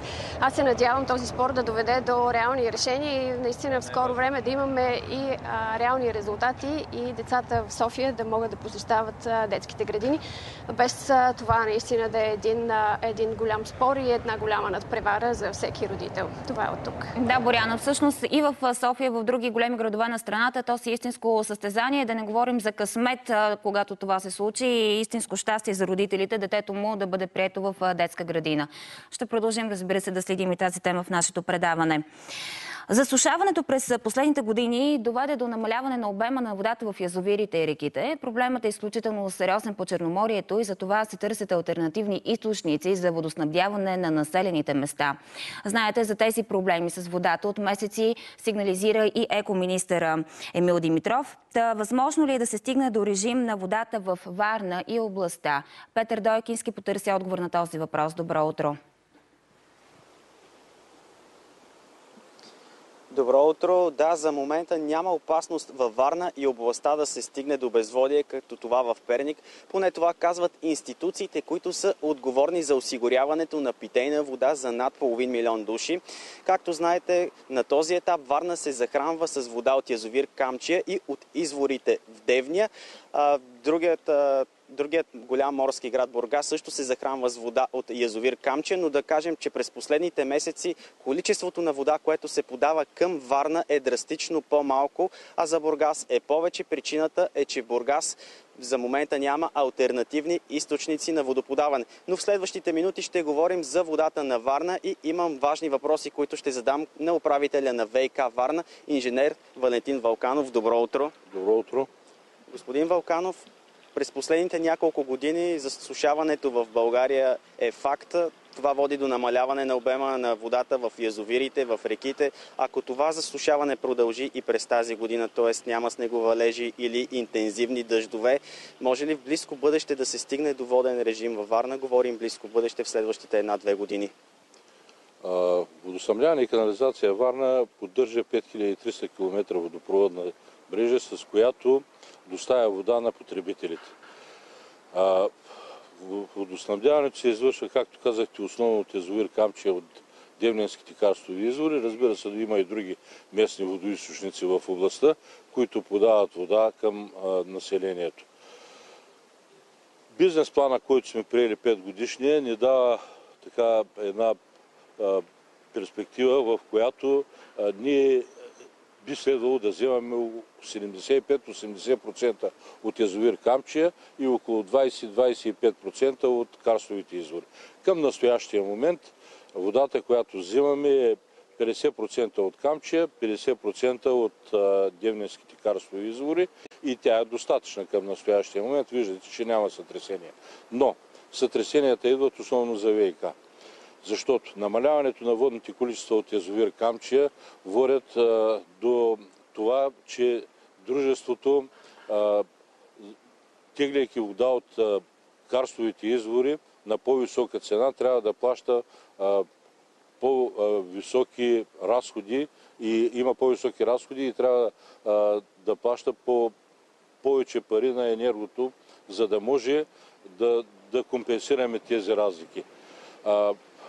Аз не мога да кажа в следващите години какво точно ще се случи в тази суша, защото ако продължаваме по този начин Министерството да ни дава два пъти по-малко количество вода, отколкото на Бургас, а в началото на годината те бяха 170-80 милиона, към настоящия момент 130. Ние сме вземали 20 милиона и останалите са а, взети от Бургас и евентуално са се изпарили. А какво Искам... ще се случи с водата на Варна, ако се стигне до вариант да бъде спряно водоподаването от язовир Камчия и се налага да се ползват альтернативни източници, както казахте, изворите в Девния и евентуално други, като язовир Цонево? Искам да довърши само това, което иска да кажа. Трябва да се направи комисия, която да мери нивото на язовира и не може дружеството, което го обслужва, да дава параметрите в, към Министерството на околната среда.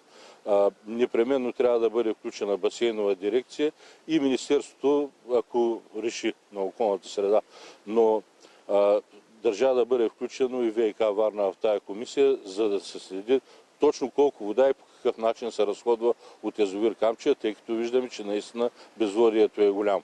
Ако... Изворите в Девния могат ли да захранват изцяло Варна, ако се стигне кажем до този вариант, тъй като така и в медийното пространство се завъртя информация, че може водата за Варна да бъде спряна, ако се стигне до много сериозен проблем с засушаване. Не е възможно да, поне според мен в близките една-две години, това нещо да се случи, защото от карстовите извори ние може да подаваме вода специално към град Варна от порядъка на около 1800 литра в секунда, което сега вземаме от Варна и от Бургас.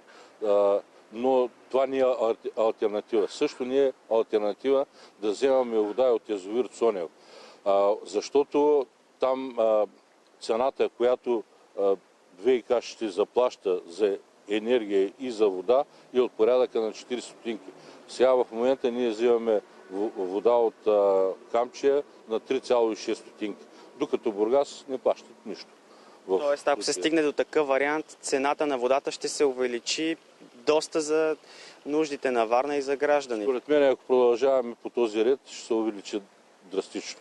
С колко ще се увеличи? Ами, зависи от къде ще взимаме. Ако това е въпрос на сметки, ще го изчислим по-нататък. Но да не притесняваме населението към настоящия момент. Нито имаме намерение да намаляме цената на водата, нито имаме а, намерение да, а, а, да, да вдигаме цената по отношение на потребителите. Така че ВК Варна е а, сериозно дружество и мисля, че близките една-две години то може да издържи на този начин на подаване на вода към населението. Добре, благодаря ви. Наистина дано така да се случи, както казвате. Това е за момента, както чухте, няма опасност Варна да остане без вода, но проблемът с водата е актуален и за много други области в страната. Затова предварително и превентивно може би трябва институциите да се задействат и да се намерят альтернативни източници на водоподаване. Един от вариантите е да се построят и нови язовири. Точно така. Проблем има. Важно е да се вземат решенията на време, за да не се стигне до ситуацията в Перник, с която и ти започна. Благодаря ти и Петър. А сега поглед към личните ни финанси. Каква е се ни очаква? Време ли е малко да се успокоим, да развържем джобовете или напротив? За това ще говорим в следващите минути с кредитния консултант Тихомир Тошев. Добро утро. Здравейте. Добро утро.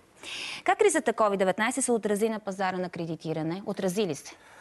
А, имаше отражение, да. Извареното положение, това затваряне, което се случи март месец, март и април до, 15, до 13 май, а, накара банките леко да а, затегнат кредитирането, най-вече в посока това да се подготвят за една евентуално по-тежка економическа криза, резултат от COVID-кризата, но затягането на мерките беше много леко.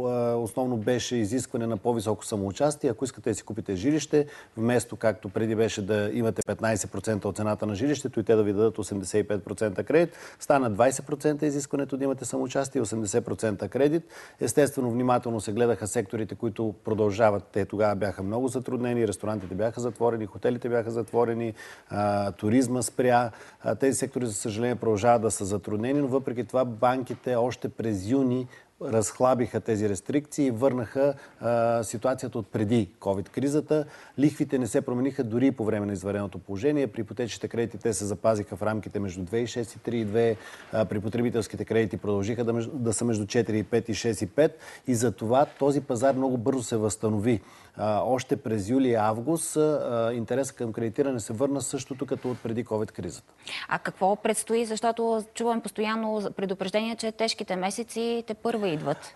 Естествено, че всички трябва да сме внимателни. Повечето предупреждения са за това, че COVID той, за съжаление, виждаме, че в целия свят започва ръст на случаите. COVID може да се върне, комбинацията с други респираторни заболявания през зимния период могат да доведат до нови затваряния, евентуално до нови, нов ръст на безработицата. И всички трябва да сме готови за това.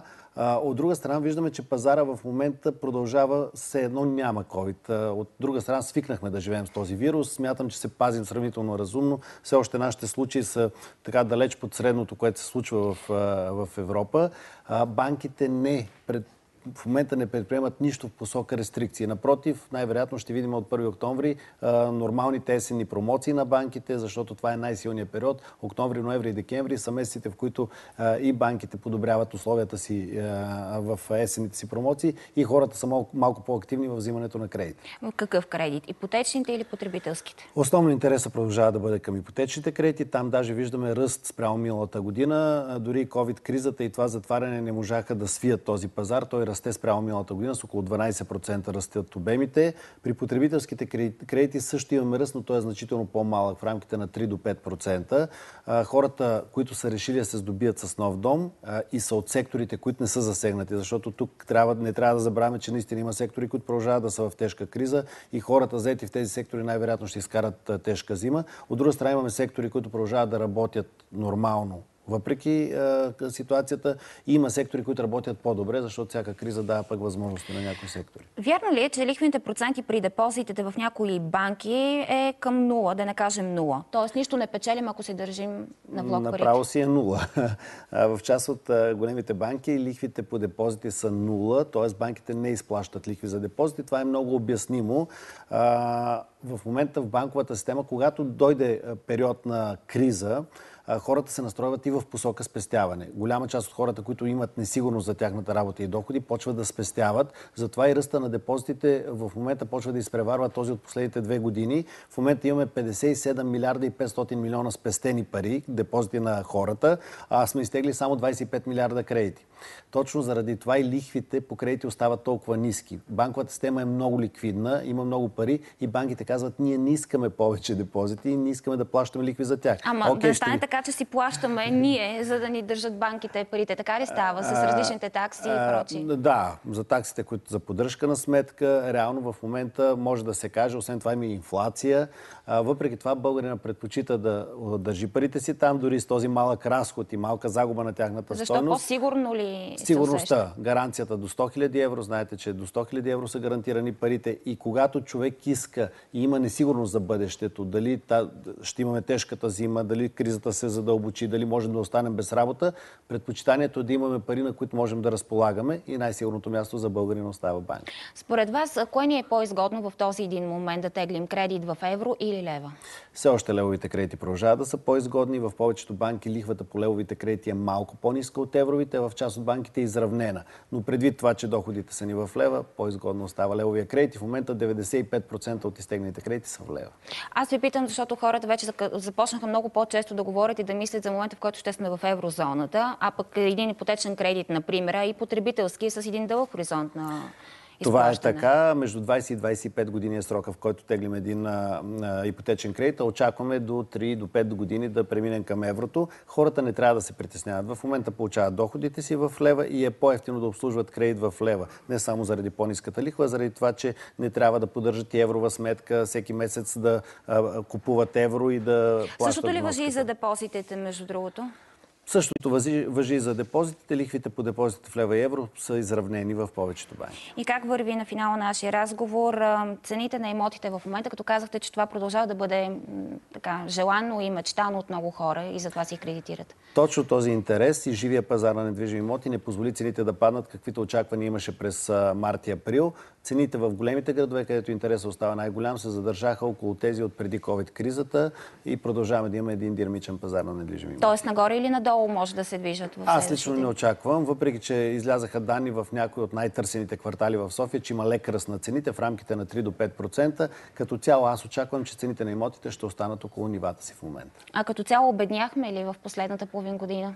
А, не бих казал, че обедняхме. Да, за съжаление има хора, които страдат и обедняват, защото останаха без работа, отидаха на борсата в неплатени отпуски, но като цяло економиката в България е доста по-малко стресирана, отколкото в Европа, а, така че за сега устояваме на кризата сравнително добре. Аз ви питам и за фирмите е важно да направим това уточнение и възможностите да теглят кредити безлихвени или там на преференциални а, възможности. А, това в момента актуално ли е и помага Част от фирмите се възползват от тези възможности. Част от фирмите в момента в период на задаваща се економическа криза предпочитат да не задлъжняват, така че спада към интерес към фирмено кредитиране е по-голям, отколкото интереса на физическите лица.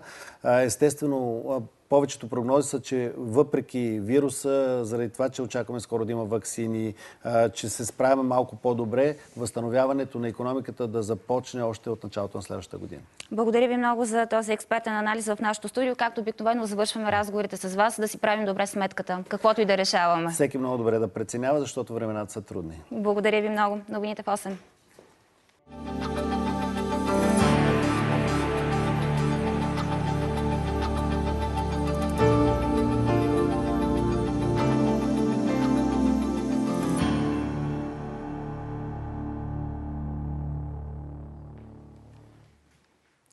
За изборните правила, които се пишат в момента и по които ще се проведат следващите избори, независимо кога ще са те, ще говорим в следващите минути. С депутатите Красимир Ципов от ГЕРБ и Явро Божанков от БСП. Здравейте, добро, добро утро. утро. Здравейте. Господин Ципов, първо да започнем с това, кой ще е новия председател на Централната избирателна комисия. Към края на вчерашния ден няма подадени кандидатури. Това означава, че ще има нова процедура. Нашите очаквания бяха другите парламентарно представени политически партии коалиции да внесат своите кандидатури, които да бъдат обсъдени, да бъдат на професионалисти. За съжаление не видяхме такова нещо, което означава, че в новата процедура ще трябва да предложим и ние наша кандидатура. А до сега защо нямахте такава? Направихме, направихме един такъв жест да приемем кандидатура от други политически субекти, но явно няма такъв интерес от страна на тези политически партии. Затова ще поемем отговорността и ще внесем наша кандидатура в следващата процедура. Кой имате ли вече име? Имаме, имаме варианти. Ще обсъдим тези номинации и помежду си, и с коалиционните партньори. Надяваме се да се обединим около кандидат, който е доказан на професионалист, с безупречен бекграунд, така че да оглави Централната избирателна комисия. Чухте спекулациите за бившия правосъден министр Данил Кирилов? Не, те не отговарят на, на истината.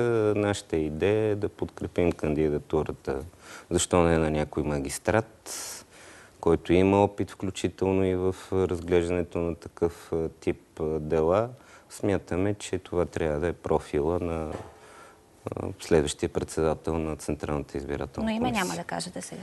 Име не. А вие защо не предложихте свой кандидат от БСП?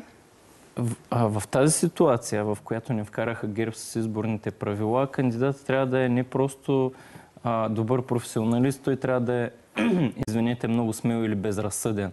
Защото а, целият изборен процес е пред провал и това не е мнение на БСП, това е мнение на неправителствения сектор, на експертите. А, това, което ГЕРБ написаха като изборен кодекс или това, което наричат изборен кодекс е а, истинска обида за юридическата мисъл. То е просто а, сбор от норми, които се противоречат. Ще поговорим за това, но аз се питам конкретно вод. за председател на ЦИК. Не е ли важно това за вас? Все пак е, да се обсъди такава кандидатура. ЦИК, стария председател на ЦИК, защо напусна? Какви бяха мотивите? Че ЦИК е изправена пред невъзможно положение. Тоест този нов председател ще трябва да поеме цялата отговорност. Този човек е наясно, че ще излезе основния виновник. ГЕРБ в момента се чудят на кого да прехвърлят отговорността за проваления машинен вод. И тук, подчертавам, трябва да намерят някой много безразсъден човек, който да поеме тази огромна отговорност, която му прехвърлят Вие на глава. Да Разбира се, че не могат да бъдат прияти ни такива квалификации, че е, предишният председател е е напуснал заради това. Тя го каза. Ами, мисля, че изтъкна съвсем други аргументи. А, но както и да е, няма, да, няма да се връщаме назад. Трябва да се избере такъв, такъв председател. Какво значи да бъде смел и, и безразсъден? Това е човек, който ще оглави един колективен орган, който приема а, своите решения и който трябва да проведе следващите избори. И който търпи доста критики вод ще има машинен вод ще има категорично в 9500 секции. Така както предвиждате и до сега закона. Заради ситуацията и с коронавируса, разбира се, трябва да се изтъкне една такава причина. Трябва да се даде възможност на българските граждани да гласуват и с бюлетина.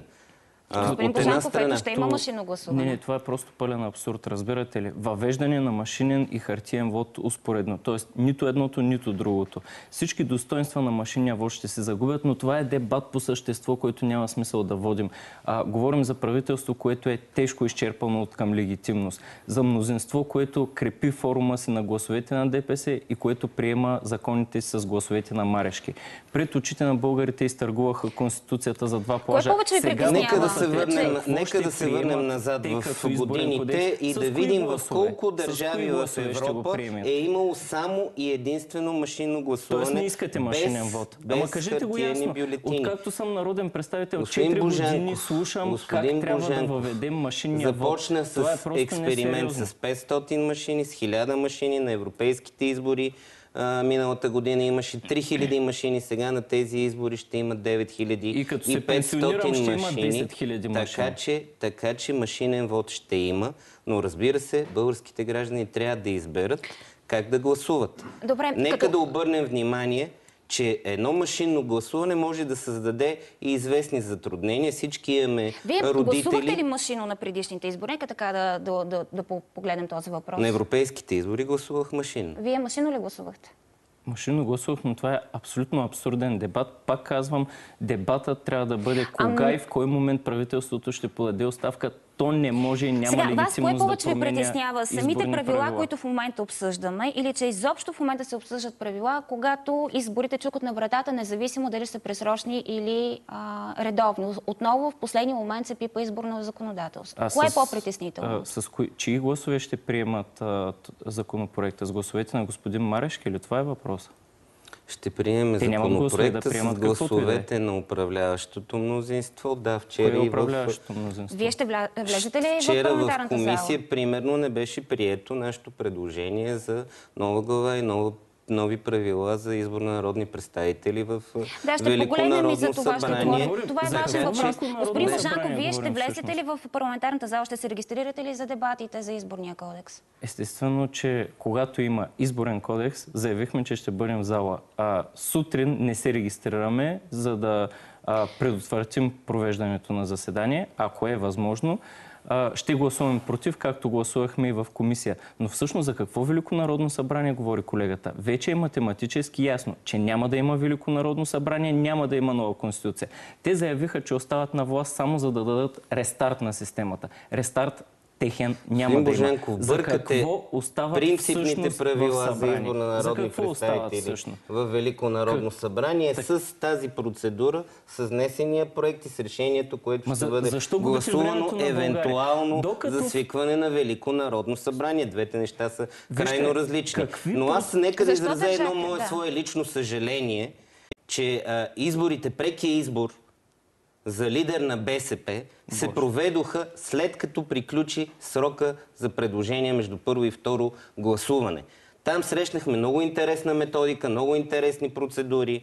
Имаше един, а, а, едни подвижни секции, едни мобилни секции, едни тъмни урни. Тъмни урни, така че можеше да почерпим опит от тези правила, по които, по които се избра лидер на БСП. Нека да, да, да върнем разговора това, към Великото народно колегата. събрание. Между другото, самите ваши партньори не се съгласиха с а, тази смесена Да, система. те заявиха своята позиция още на първото четене и внесаха предложения за отпадане на тези Казаха, текстове. че ще е гласувахме, ги, гласувахме ги само от ГЕП. Резултата на гласувалите беше равен, така че в доклада, който днес Ще ощетят бъде... ли наистина по-малките партии, ако евентуално по този начин Не, не смятам, че ще бъдат ощетени по-малките партии. Това са излишни опасения, но в крайна сметка всеки има право да изрази а, своята позиция. Така са взели решение коалиционните партньори Вижте, от Обединени а, патриоти. колегите- Така гласуваха за тези текстове. Слушам ви, да. В опита си да се а, доберат до редовни избори, колегите предложиха нова конституция, правила за избор на Велико народно Господин събрание. Божанков, нали това иска и каквото протеста? Искаше протеста, да има, сега не знам. А, на фона на протестите и на фона на всичко, единственото, може би, което още не са направили, е да обявят война на някой, за да се закрепят на власт. Вижте, това звучи абсолютно след като несериозно. Велико народно събрание няма да има. Големия дебат е, те вкарват предложения, които после сами отхвърлят. Избори в два дни, след това сами гласуват срещу собственото си предложение. Тоест губят времето на България, а успоредно с това правителството поема 5 милиарда дълг. Тоест моите деца ще изплащат заеми, които са Как а, решихте, поети че по правителството поема неясни 5 милиарда критерии. дълг? Как решихте това нещо? Не мога Ами, да разбера. Прочетете, Какъв прочетете вчера за какво става дума. Извикахме министър-председателя, извикахме главния прокурор събранието. Все пак, главните виновници да има протести са двама. Бойко Борисов и Иван Гешев. Единият излезе от отпуска, до ден днешен не е дошъл в Народното събрание. Другия също. Разбираме от Фейсбук, защото България за първи път има виртуален министър-председател, който а, го виждаме в социалните мрежи, не го виждаме в Министерски съвет, не го виждаме и в Народното събрание. Господин Божанков, отговорете ми на въпроса. Вие мрежи от явно- БСП искате ли Велико народно събрание? Явно през социалните мрежи трябва да разберем за какво е този 5 милиарда дълг, има ли излишък, няма ли, какво е състоянието прехвърляме от теми в теми, но минахме вече към а, един дълг. В крайна е сметка, нека и да обърнем внимание, че искането на БСП, да речем, за изслушването на главния прокурор, беше да бъде предоставена информация от януари до август. В момента сме средата на септември. И къде е главният прокурор? Не. Трябва да подготвят тази информация. Главният прокурор заяви съвсем ясно, че ще дойде в Народното събрание. Мога да го направи началото на септември. премиерът ще дойде ли? От първи, от месец януари до месец юни да представи информацията. Ако е необходимо да представи информация от януари до, до август месец, това може да стане в началото на октомври. Може и 2022 да стане. Господин Башанков, отговорете ми на този въпрос. Искате ли Велико народно събрание или не? Категорична е позицията, че това е вредно за конституционализма в България, вредно за държавата, абсурдна идея от страна на ГЕРБ. Това, което предложиха като конституция е всъщност критикувано от всеки Това експерт са две и конституционалист Така, в България. а, питам ви, защото протеста искаше Велико народно събрание. Искаше промени в Конституцията. Вижте, протеста има две основни искания. Оставка на министър-председателя, оставка на главния прокурор. На протеста има лозунги против капитализма, ло- лозунги за електронното гласуване, има лозунги всякакви, но исканията са ясни, те са две, към ден днешен не са изпълнени, затова и протеста продължава. Всяка друга тема в момента а, разделя обществото. И нека направим проста математика. Защо казвам, че това управление е нелегитимно? От Обществото- една страна имаме правителство, което се държи на гласовете на Веселин Марешки и кворума на ДПС. От друга страна имаме президент, парламентарна опозиция, извън парламентарна, Христо Иванов, Майя Манова, Възраждане, който искате. Обществото Това е разделено, обществото е разделено, хора, защото президента реши да заеме- да заеме- които водят много... Нека да стане все пак някакъв дебат, за да Не. не, да не е монолог. Ами аз да. ви Обществото е разделено, защото президента ме реши да бъде опозиционен лидер, а не президент. И наистина логичното би било и той да подаде оставка, да основе своя партия и да се яви на избори. И да ги спечели тия избори и да управлява. Това е съвсем ясният отговор на това, което се случва в обществото. Господин Ципов, когато част говорим, от когато говорим за това, че предсрочни продължават избори. протестите и нещата, които маркирахме като част и искане на тези протести, смятате ли, че в Народното събрание се разглежда и наистина дневния ред на обществото в момента? Чувате ли исканията на хората?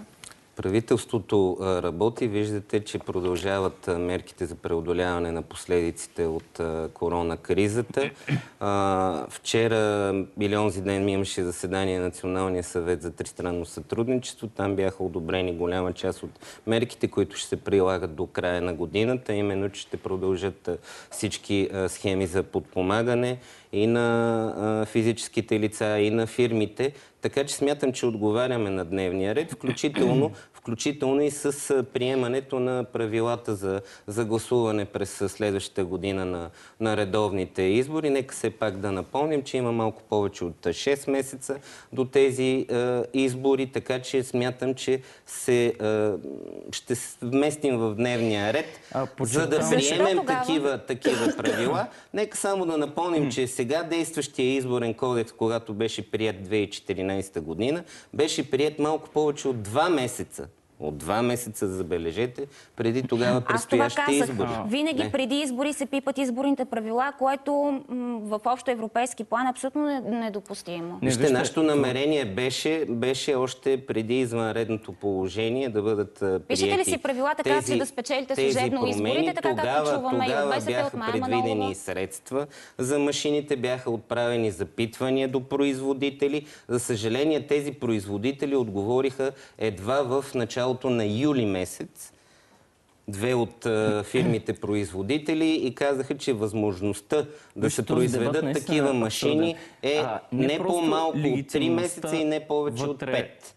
в държавата. Какво става навън? Дебата в Европейския парламент, за който управляващи и главен прокурор излагаха, че е иницииран от българска страна а, от страна на Съединените щати. Една декларация, че в България корупцията е в огромни размери. Какво става с работодателските ни организации, които ясно заявиха, че срещу българския бизнес се оказва натиск, ако изразиш позиция в подкрепа на протеста. Какво правим с всичко това? Това са големите въпроси. Извикахме вътрешния министр да го попитаме какво стана с насилието на протеста, кои полицаи са наказани, кой е носил боксове, защо, как са задържани журналисти.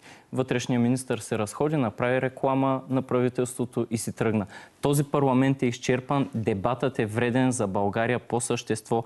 Кой ще наемал машини, как ще да ги наеме. В момента има една тема и тя е оставката на Бойко Борисов и Така иначе оставката на изборния главния кодекс трябва да прокурор. бъде гласуван. Така че не е изчерпан този дебат. Важно е по Но те го правят по начин, по който просто да дебатираме още Те го и още. какви се води по направихте? отношение на вътрешния министр, включително и днес в ресорната комисия. Той ще, ще бъде изслушан и ще представи цялата информация във връзка с събитията от последните два месеца. Ще отговори на всички въпроси на членовете на вътрешната комисия от различните парламентарно представени партии и коалиции. Така че Да, да, да, говорим, всичко че изместваме, Но- да изместваме дебата. Дебата не смятам, че в момента стои Господа, само Дебата едно не нещо, което а, прави впечатление във всички разговори, когато говорим за изборното законодателство. Как една машина, приемаме, че ще имаме машинно гласуване, ще гарантира честността на вода?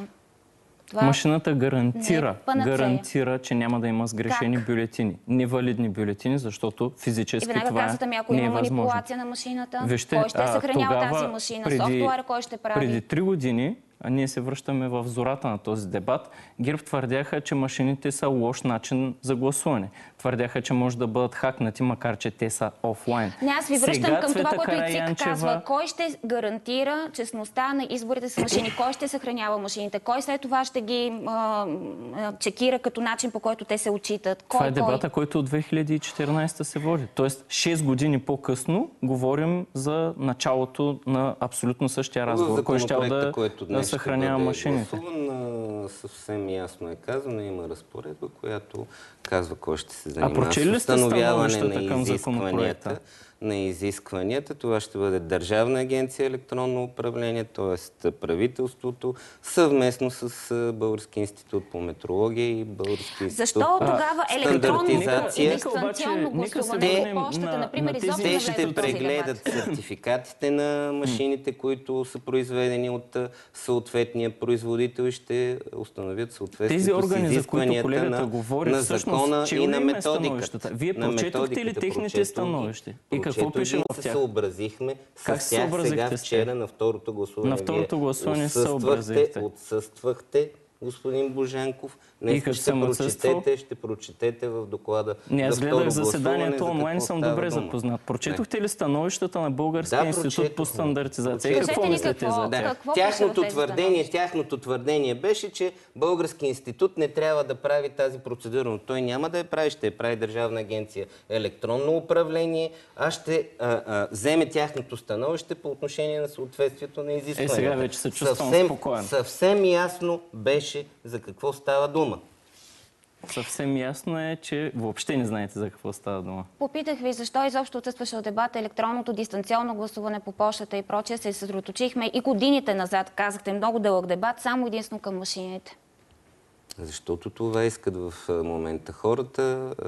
Централната избирателна комисия има проект за експериментално електронно дистанционно гласуване, защото и машинното гласуване е електронно гласуване и смятам, Говорим за дистанционно, буквално ще има, телефона ще има, ще има такива, такива разпоредби в възможно най- близко бъдеще. Имаше такива текстове 2011 година, нека да напомним в изборния кодекс. А, Тогава БСП внесаха искане в Конституционния съд и Конституционния съд се произнесе, че такъв тип гласуване не осигурява тайната на вод. Между другото, на вашия въпрос защо, защо има проблеми с машинното гласуване, нека да напомним, че в други държави, като Германия, като Холандия, именно заради проблеми с тайната на, на вода беше отменено такъв тип гласуване. То, нали знаете, че тайната на вода тук вече е доста колегите Против компромисно. машинния вод или за машинния машинния вод са постоянно превеждат аргументи, че машинния вод всъщност може да е манипулиран и е лош и другите крайна държави са го сметка, отхвърли. господин Божанков, сметка става дума за някои въвеждат. Аз не мога факти. да разбера за какво Става става дума за някои факти. Между другото, само да, да вметна в нашия разговор, че в момента и Майя Манова протестира пред парламента. Знаете нейната позиция. Тя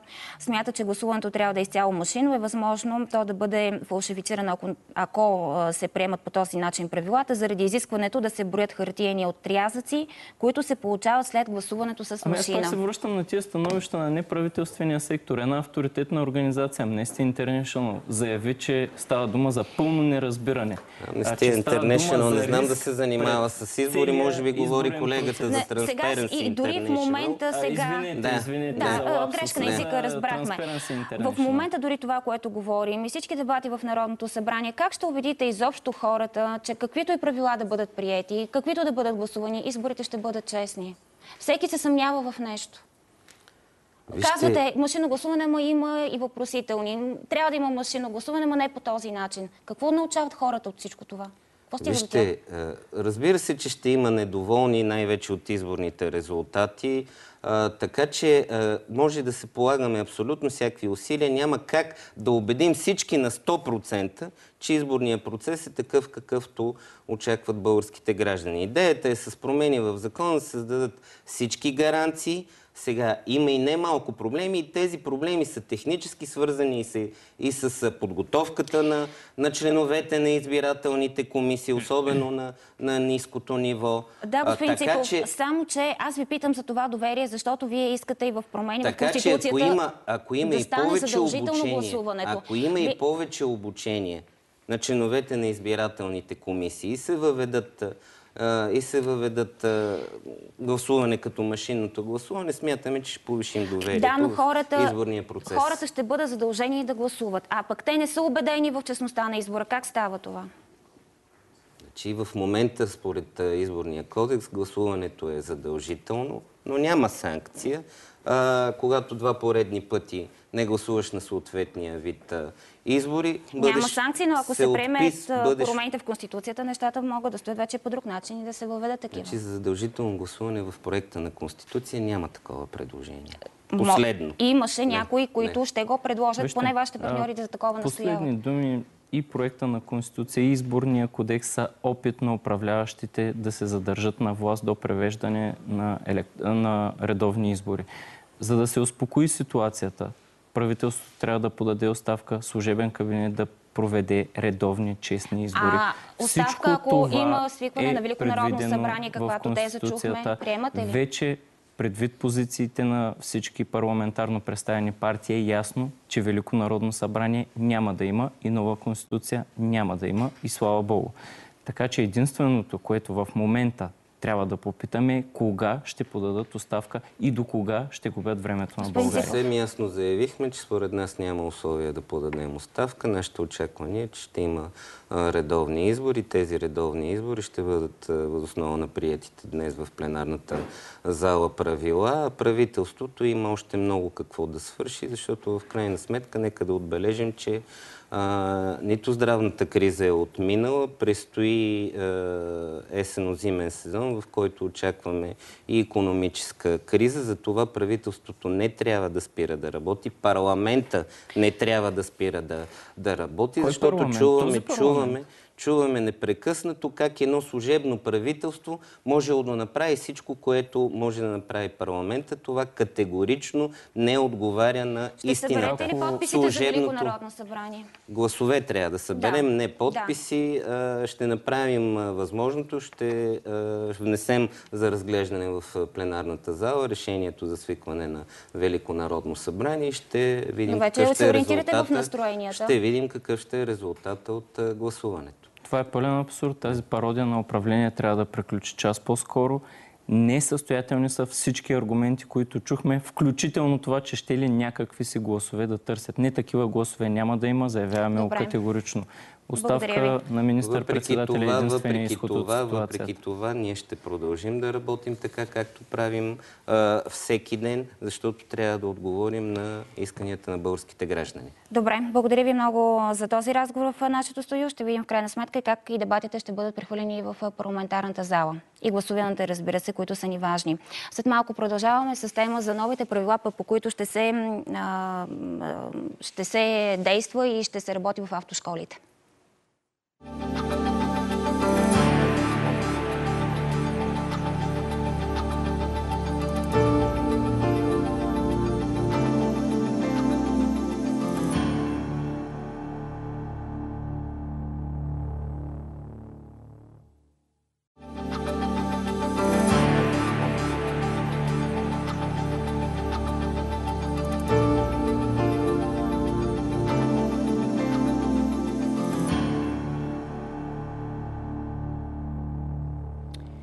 Както ви казах, по какви промени, какви промени готвят в шофьорските курсове, за това ще говорим в следващите минути с автоинструктора Красимир Георгиев и Малинка Бондаренко от Съюза на българските автомобилисти. Добро утро! Здравейте! Добро утро! Добро Здравейте!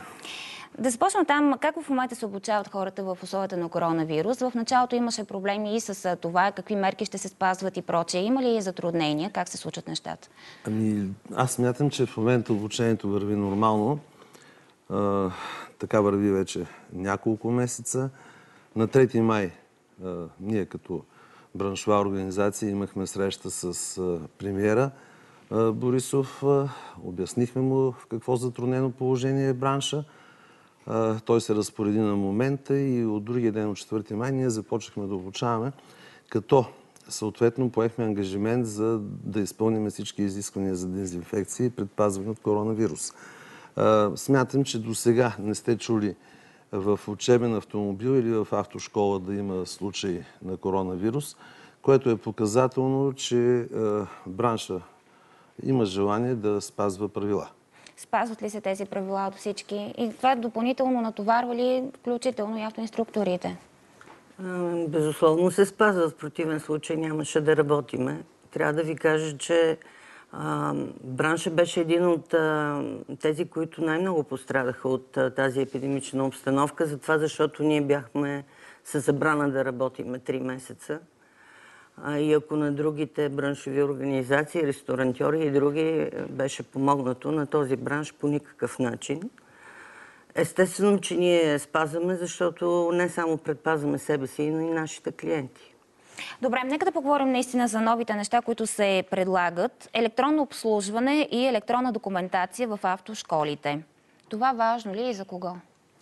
Ами аз мисля, че когато цял свят включително и по-изостаналите страни от България вървят към електронизация, което означава по-малко бюрокрация, обективен контрол, равнопоставеност за всички при извършване на тяхната дейност.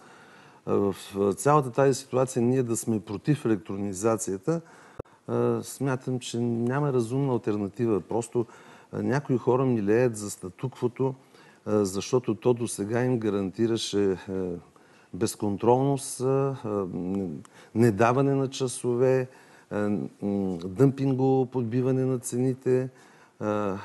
Изобщо... А сега какво ще се промени? Какво на практика се предлага? Ами сега ще се променят много неща и аз мятам, че и до сега тези новости има доста фирми, в които те са на лице. Тези фирми просто желаят да работят, да дават качество, да бъдат коректни със своите клиенти, да не ги ощетяват по отношение на упражнения и часове. И е, трябваше, беше крайно време е, да видим, че има държава, която да каже или всички ще работят така на светло, или всички ще работят иначе, на тъмно. Госпожо Бондаренко, изсветляване на бранша ли е целта? Не смятам, че бранша до този момент е бил в черния или в сивия или в какъвто и да е разцветка цвят. А, това звучи много добре. Електронизация, контрол. По принцип, нека да просъждаваме малко за контрол, защото на практика това е целта на тази система, която а, се цели да бъде внедрена. Контрола е за да се осъществи качествено обучение, което по закон се дава закона за движение пътищата на министра на транспорта, той съответно го извършва чрез автомобилна администрация. Тази система сега ще проконтролира а, даването на часовете. Тоест, Теоретични ще и знаем практически. наистина минали Така. са магистрала, шофиране на тъмно, всички условия. Да, но каква е целта на един контрол? Всички, за всички е ясно, нали? Качествено обучение и по-добри водачи и по-безопасни на пътя. А, тази система няма да даде този контрол. А коя Тя ще дала? каже колко време е проседял, примерно при теоретичното обучение, колко време той е проседял в кабинет. Тя ще каже колко време той е бил в учебния автомобил. За да има един качествен контрол, е необходимо да се а, проконтролира самото обучение, програмата, темите, които трябва да бъдат обучени и начина по който курсиста ги е освоил. Тази система формално ще извършва един контрол, но няма да а, се стигне до това качество, което всички едни Господин желаем. Георгиев, така ли? Аз мятам, че госпожа Бондаренко сама противоречи със себе си. В- момента и то е обяснимо. Обяснимо е, но а, изобщо не е така. Просто а, човек трябва да вникне в а, детайлите на тази система и ще разбере, че не е така. А, какво означава да се промени учебната програма и не знам какво. Какво като се промени? Като няма гаранция за прилагането и за спазването и за използването. й. Какво като се Добре, промени? по принцип какво трябва да има в тази учебна Ами, програма? Ние сега, с вас също сме коментирали. Има е въпроси, добра. които а, всички зубрят, буквално, извинявам се за този Така е, израз, за така да е, изкарат така е. изпита и после не им трябва изобщо. Ама учебната програма е много добра. Ето и сега. Ако учебната програма предвижда кормуване на магистрала, питайте ме колко а, обучават курсистите си на, за управление на магистрала. Ми не повече от 10%. Не повече. Защо? Ами, защото там са разходи. Защото за един кормилен час на автомагистрала ще изминем 40-50 км, а друго е да минем 5 км в града при задръстване. Това е меко казано Е, компромис. Има разлика. Не мислите ли, не трябва ли да се направи нещо в тази посока? Ние постоянно говорим за многото автопроизшествия, например. Ами на най-тежките происшествия стават на магистрала, защото най-често по време на целия курс курсиста никога не е карал с повече от 15 км в час. Аз имах случай за последно от курсист, който е карал курса преди 5 месеца някъде, няма да казвам къде, и по време на целия курс е включил два пъти на трета предавка. Само на първа и втора. Ето това системата може ли Е, да за го реши този говорим? въпрос? Не може да го реши. Тя ще А, не може, ще го реши, то много добре. той е бил в автомобил. А дали е карал на магистрала, например? А не е вярно. Не е вярно. Значи има предвидена GPS система, която ще следи къде ще върви кара на автомобила. магистрала? Това ли е най-важното само? Защото се дава е непрекъснато примера с Страшно магистрала. е важно. Всичко е важно при обучението на водачите. Няма нещо, което да можем да кажем, това е маловажно, а това е най-важно. В такъв случай щяхме да наблегнем на най-важното. Значи, тук съм съгласен, всичко е важно. Съм важното е а, да има действително качествен контрол. Аз ще ви дам един пример с една учебна книжка, която не се използва, въпреки че я има в учебната документация. Да. Тази учебна книжка не само ще може да бъде като контрол от страна на автомобилна администрация, за да а, вижда каква степен е даден ли, е, този задължителен минимум от знания, но и ще бъде изпълнено едно много важно друго, друга възможност и качество. Това самия клиент да си проконтролира обучението. Защото това не е най-добрият контрол може да дойде от този, който дава парите Това си за и електронния знае учебен картон ли става чрез дума, който не, се предлага? говориме за една учебна книжка, Една учебна книжка, която която е е написан- като учебния картон. Мога да Тя пиша е като 20 договор между фирмата А, няма и ни- курсиста. В него, в тази учебна книжка са описани абсолютно всички обучения, които той трябва да премине. То понякога и на хората им е изгодно просто фиктивно да пишат, че са минали някакви часове. Нямат а, време, примерно, да ходят. Значи, така системата- че този Не, самоконтрол... не съм съгласна системата с е вас, друга. защото никой не е в днешно време най-съгласен да дава пари за нещо, което няма да Не, не, получи или системата е то ще бъде друга. некачествено. Аз искам курса да ме е ефтин. Идвам при вас и казвам, баща ми, чичо ми, баба ми, дядо ми са ме учили, аз мога много. Аз хода на Формула 1 на състезания, най-добрия съм. Давай там да дойда два-три пъти на курса, ама да ми е 100 лева или 150. Ми, господин инструктора си прави сметката. Два пъти идва, ще кара по 2 часа, 4 часа, ще му взема 150 лева. 150 лева, ако ги разделите на 4, се явяват близо 40 лева на час. Колко много той е по-напред от другите, които дават по 31 часа и един час се явява не повече от 20 лева или 18 или там някъде. Ето, това е, това е тънкия шмекерлък, Андрешковската хитрост в, нашата, в нашия бранш. Сега електронният дневник или там, както се нарича картон, т.е. контролна карта, която ще се отбелязват грешките. Това би ли помогнало за всичко, което говорим в момента? Ама разбира се, практиката го показа. Ето изпитите по управление. Изпитите по управление са точно така, пред дай. С а, видеонаблюдение, с а, таблет, с GPS система, която проследява къде се движи автомобила по време на изпита. Тази цялата система позволява след това самия курсист или родителя да прегледат как е протекал изпита, дали грешките, които е отразил изпитващия, са обективни или не, да може да коригира той своето поведение в по-нататъчното си обучение. Това е от полза и на инструктора, който го обучава, защото вижда неговия курсист къде Но това греши. е за изпита. Ние в момента Ами- говорим за обучението. Ами защо? Но обучението ще да бъде съвсем различно. Какво пречи да бъде в На практика, вижте, тази промяна на наредба 37 дойде, за да може да влезе в сила една заповед на министра на образованието, заради която на 14 януари инструкторския бранш протестираше. Защото те не, че не са съгласни с по-доброто обучение и с контрола. Те не са съгласни с това, защото тази формална, а, така наричана, а, така наричан контрол, Всъщност, а, вие знаете от какво се опасявате ни корупционни практики заради една фирма, която без наличието на служители и без опит извърши един софтуерен продукт, Това не е реално, което а, не е което реално. сега ще влезе вече в сила с Това е. тази а, заповед. И когато ние протестирахме, и двамата министри на транспорта и на образованието, се разбрахме, че Държавната агенция по пътна безопасност ще има водещата роля в а, съгласуването на промени на наредби и а, въобще за обучението на водачите, което пак не се изпълни на практика.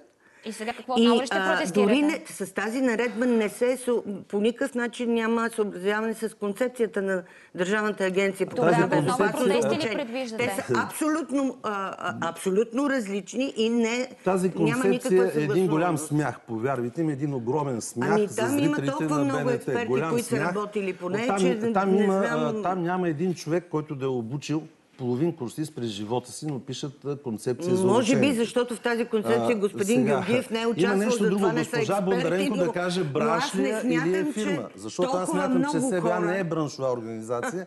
А, да каже госпожа Бондаренко колко пъти е сядала зад педалите и колко курсисти е Този обучила. въпрос вече сме го А, чували когато и, говори а, за да обучение говорим в автомобила. Нека не сега да Те уточним искат, нещо. а, те Първо- искат заради копчето да изгорят Балтона. А, Измислят си някакви фирми, някакви конспирации.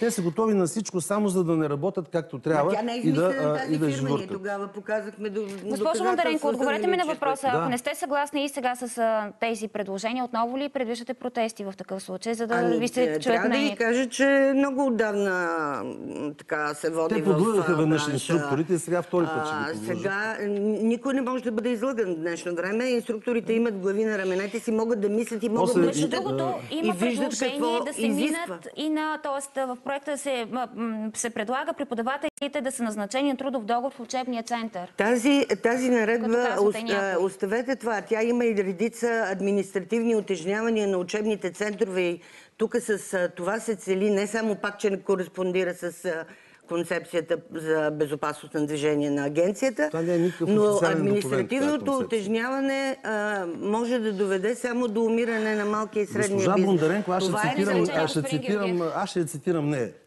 А, Точно когато се приемаше тази наредба, която издържа а, вече 10-12 години, тя имаше, от нея съм го чул, нека да откажа, че не е така, едно понятие до кога инструкторите ще работят на джоб.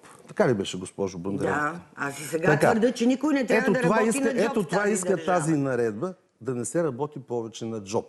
Защото за инструктора няма значение на какъв автомобил ще работи. Дали автомобила ще бъде под найем.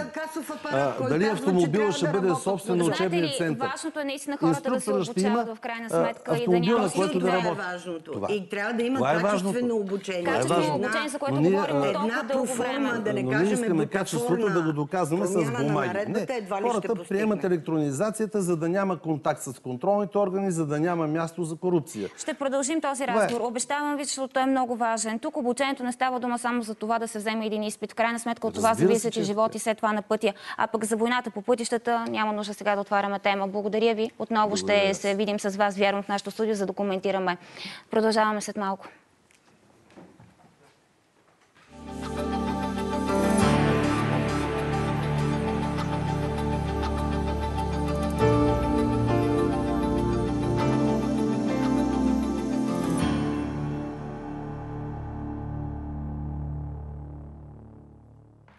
И така още по темата, с която и в момента коментирахме от друга гледна точка.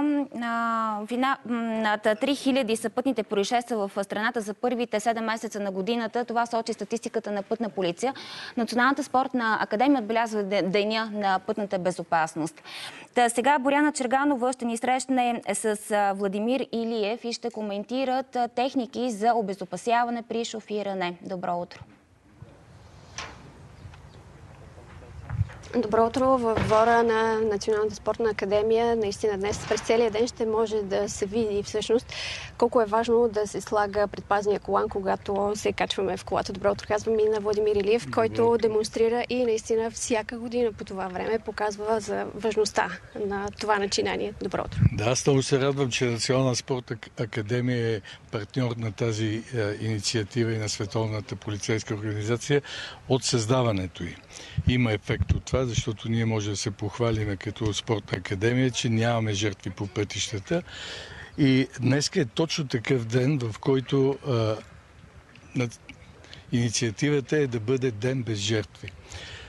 Е, в тази, е, по този повод всъщност напомняме на всички участници, че именно тяхната сигурност зависи от тяхните глави, от тяхното отношение към проблема. А, много е просто да разбереш, че кола пази. И затова ще ви направим и тези демонстрации. Нека да покажем още сега на нашите зрители Това ще какъв бъде- е ефекта от а, слагането. А, няма да покажем какъв е ефекта от не слагането на колан. Да. А, само с челния удар имитира скорост от 7 км в час. Представете си какво е удар с 50 км в час в неподвижна преграда и какво изпитват хората вътре. Така тази инсталация, която е подредена тук, може да а, даде усещането за 7 км в час. 7 км в час. Нека да, да пуснем, да видим какво, видите какъв е ефекта. Какъв е ефекта? Има доброволец. Доброволица се изпусна за 7 км в час с предпазен колан. Добро утро, Филип. Добро утро, здравейте на всички. 7 км в час е абсолютно незабележима скорост, като го говориме. Но всъщност се оказва, че когато си вътре, усещането е доста неприятно. Започва болката от ключицата и минава през корема и кръст.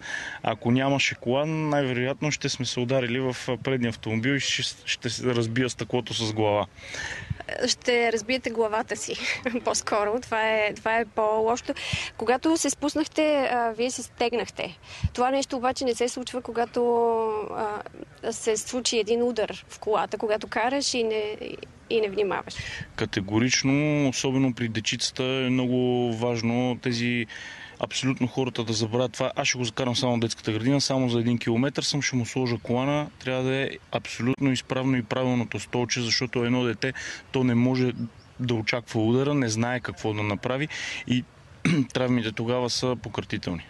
Така е, нека да видим още а, един симулатор на а, автомобил, който се завърта, нали така? Преобръщате на пътя. Преобръщане, преобръщане на пътя. Какво се случва, ако а, човека вътре е без колан? Ако е без колан, а, трудно може да се обясни какво ще се случи. Знам какво ще се случи, ако е с колан. Когато е с колан, той е защитен. Въпреки това има още условия, че в момента на преобръщането човек не трябва да се подпира никъде с ръце и крака по това, да заложи на колана, да направи в група ръцете и а, краката си прибрани, да са далече от точките, в които евентуално може да се блъсне автомобила. И евентуално, ако остане автомобила с колелетата нагоре, не трябва да бърза да откача колана, защото тогава, макар и до този момент да е бил здрав, може да щупи врата, откачайки колана, да се набие на главата си.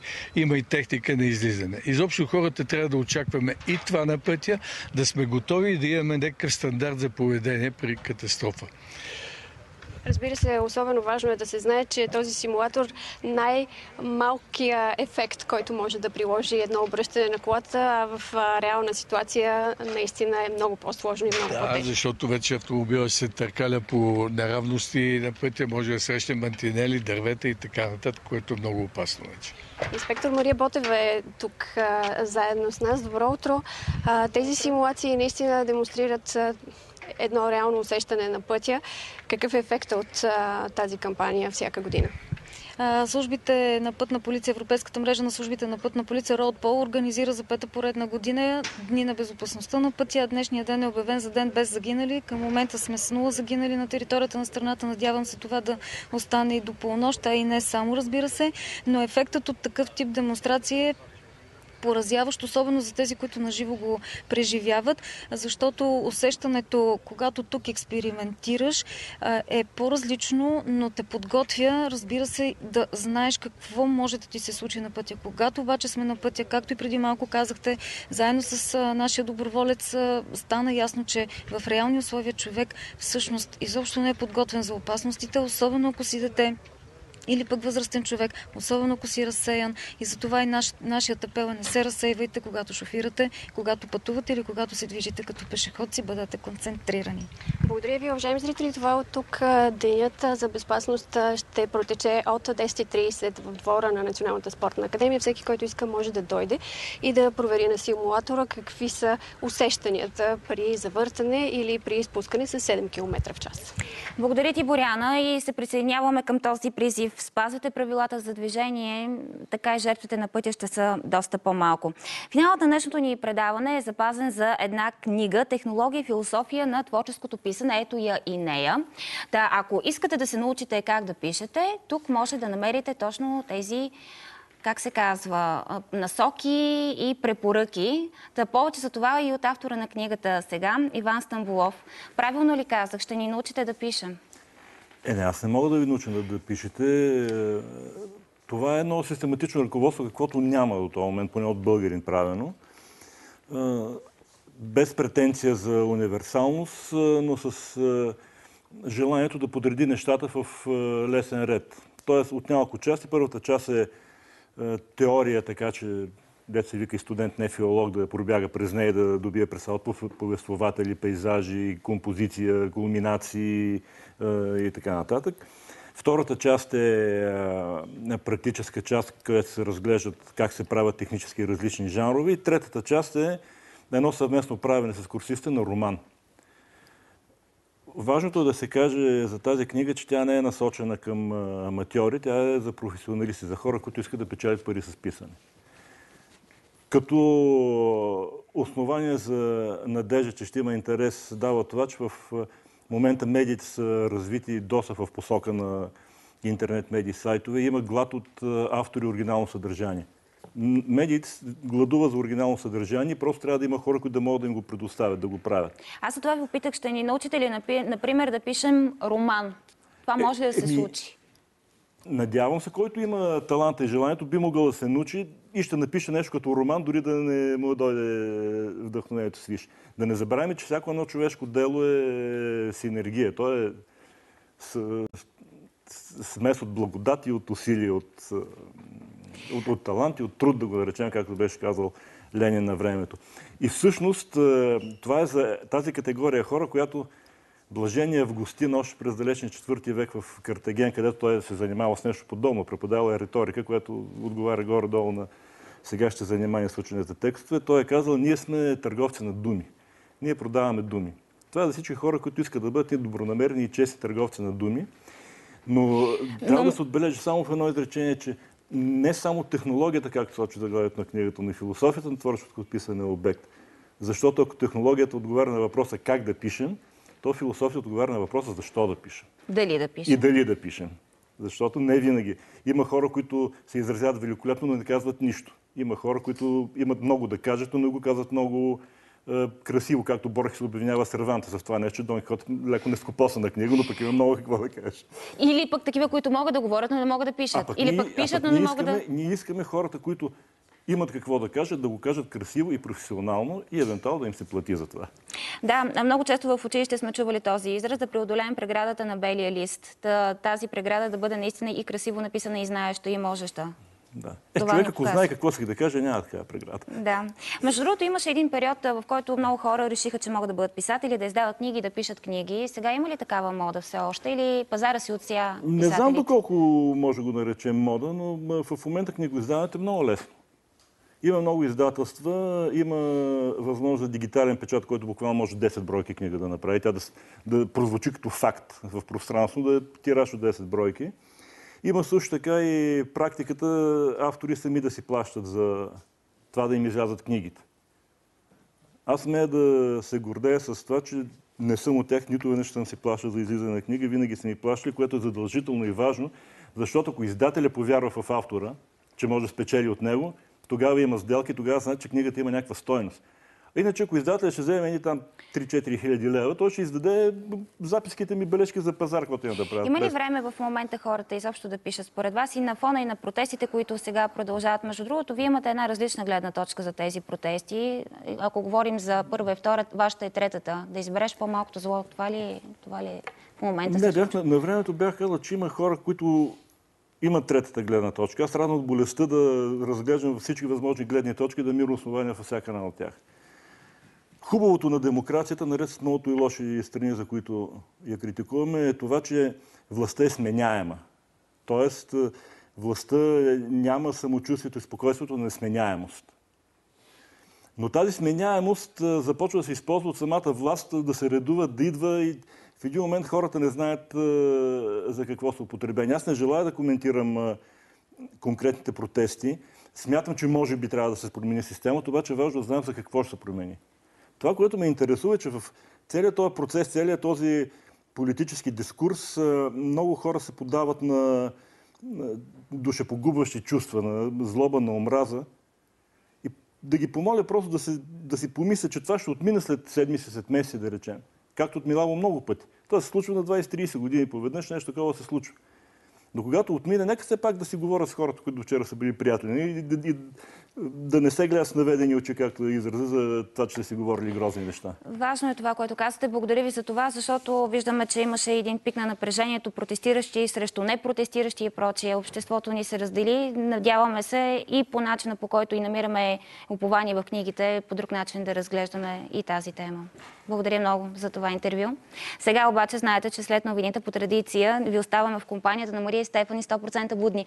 Та какво ще видим сега в предаването? Ще ни кажете добро утро. Добро утро. Добро утро, Криси. А, Днес ще си говорим за, разбира се, винаги интересни неща, но експертът Надя Петрова ще ни говори за биохакът или по-скоро периодичното гладуване и при какви състояния е подходящо, защото мен изключително много ме интересува. А, още сме, между другото, и на ученическа вълна. За това ще си покажем какви ученици са били обичаните актьори Стефан Мавродиев и Стефан Денолюбов. А пък Адриана Николова, всъщност печенката, ще говори при нас за новия музикален сезон на Фортисимо Фамилия и още много и много, много други неща.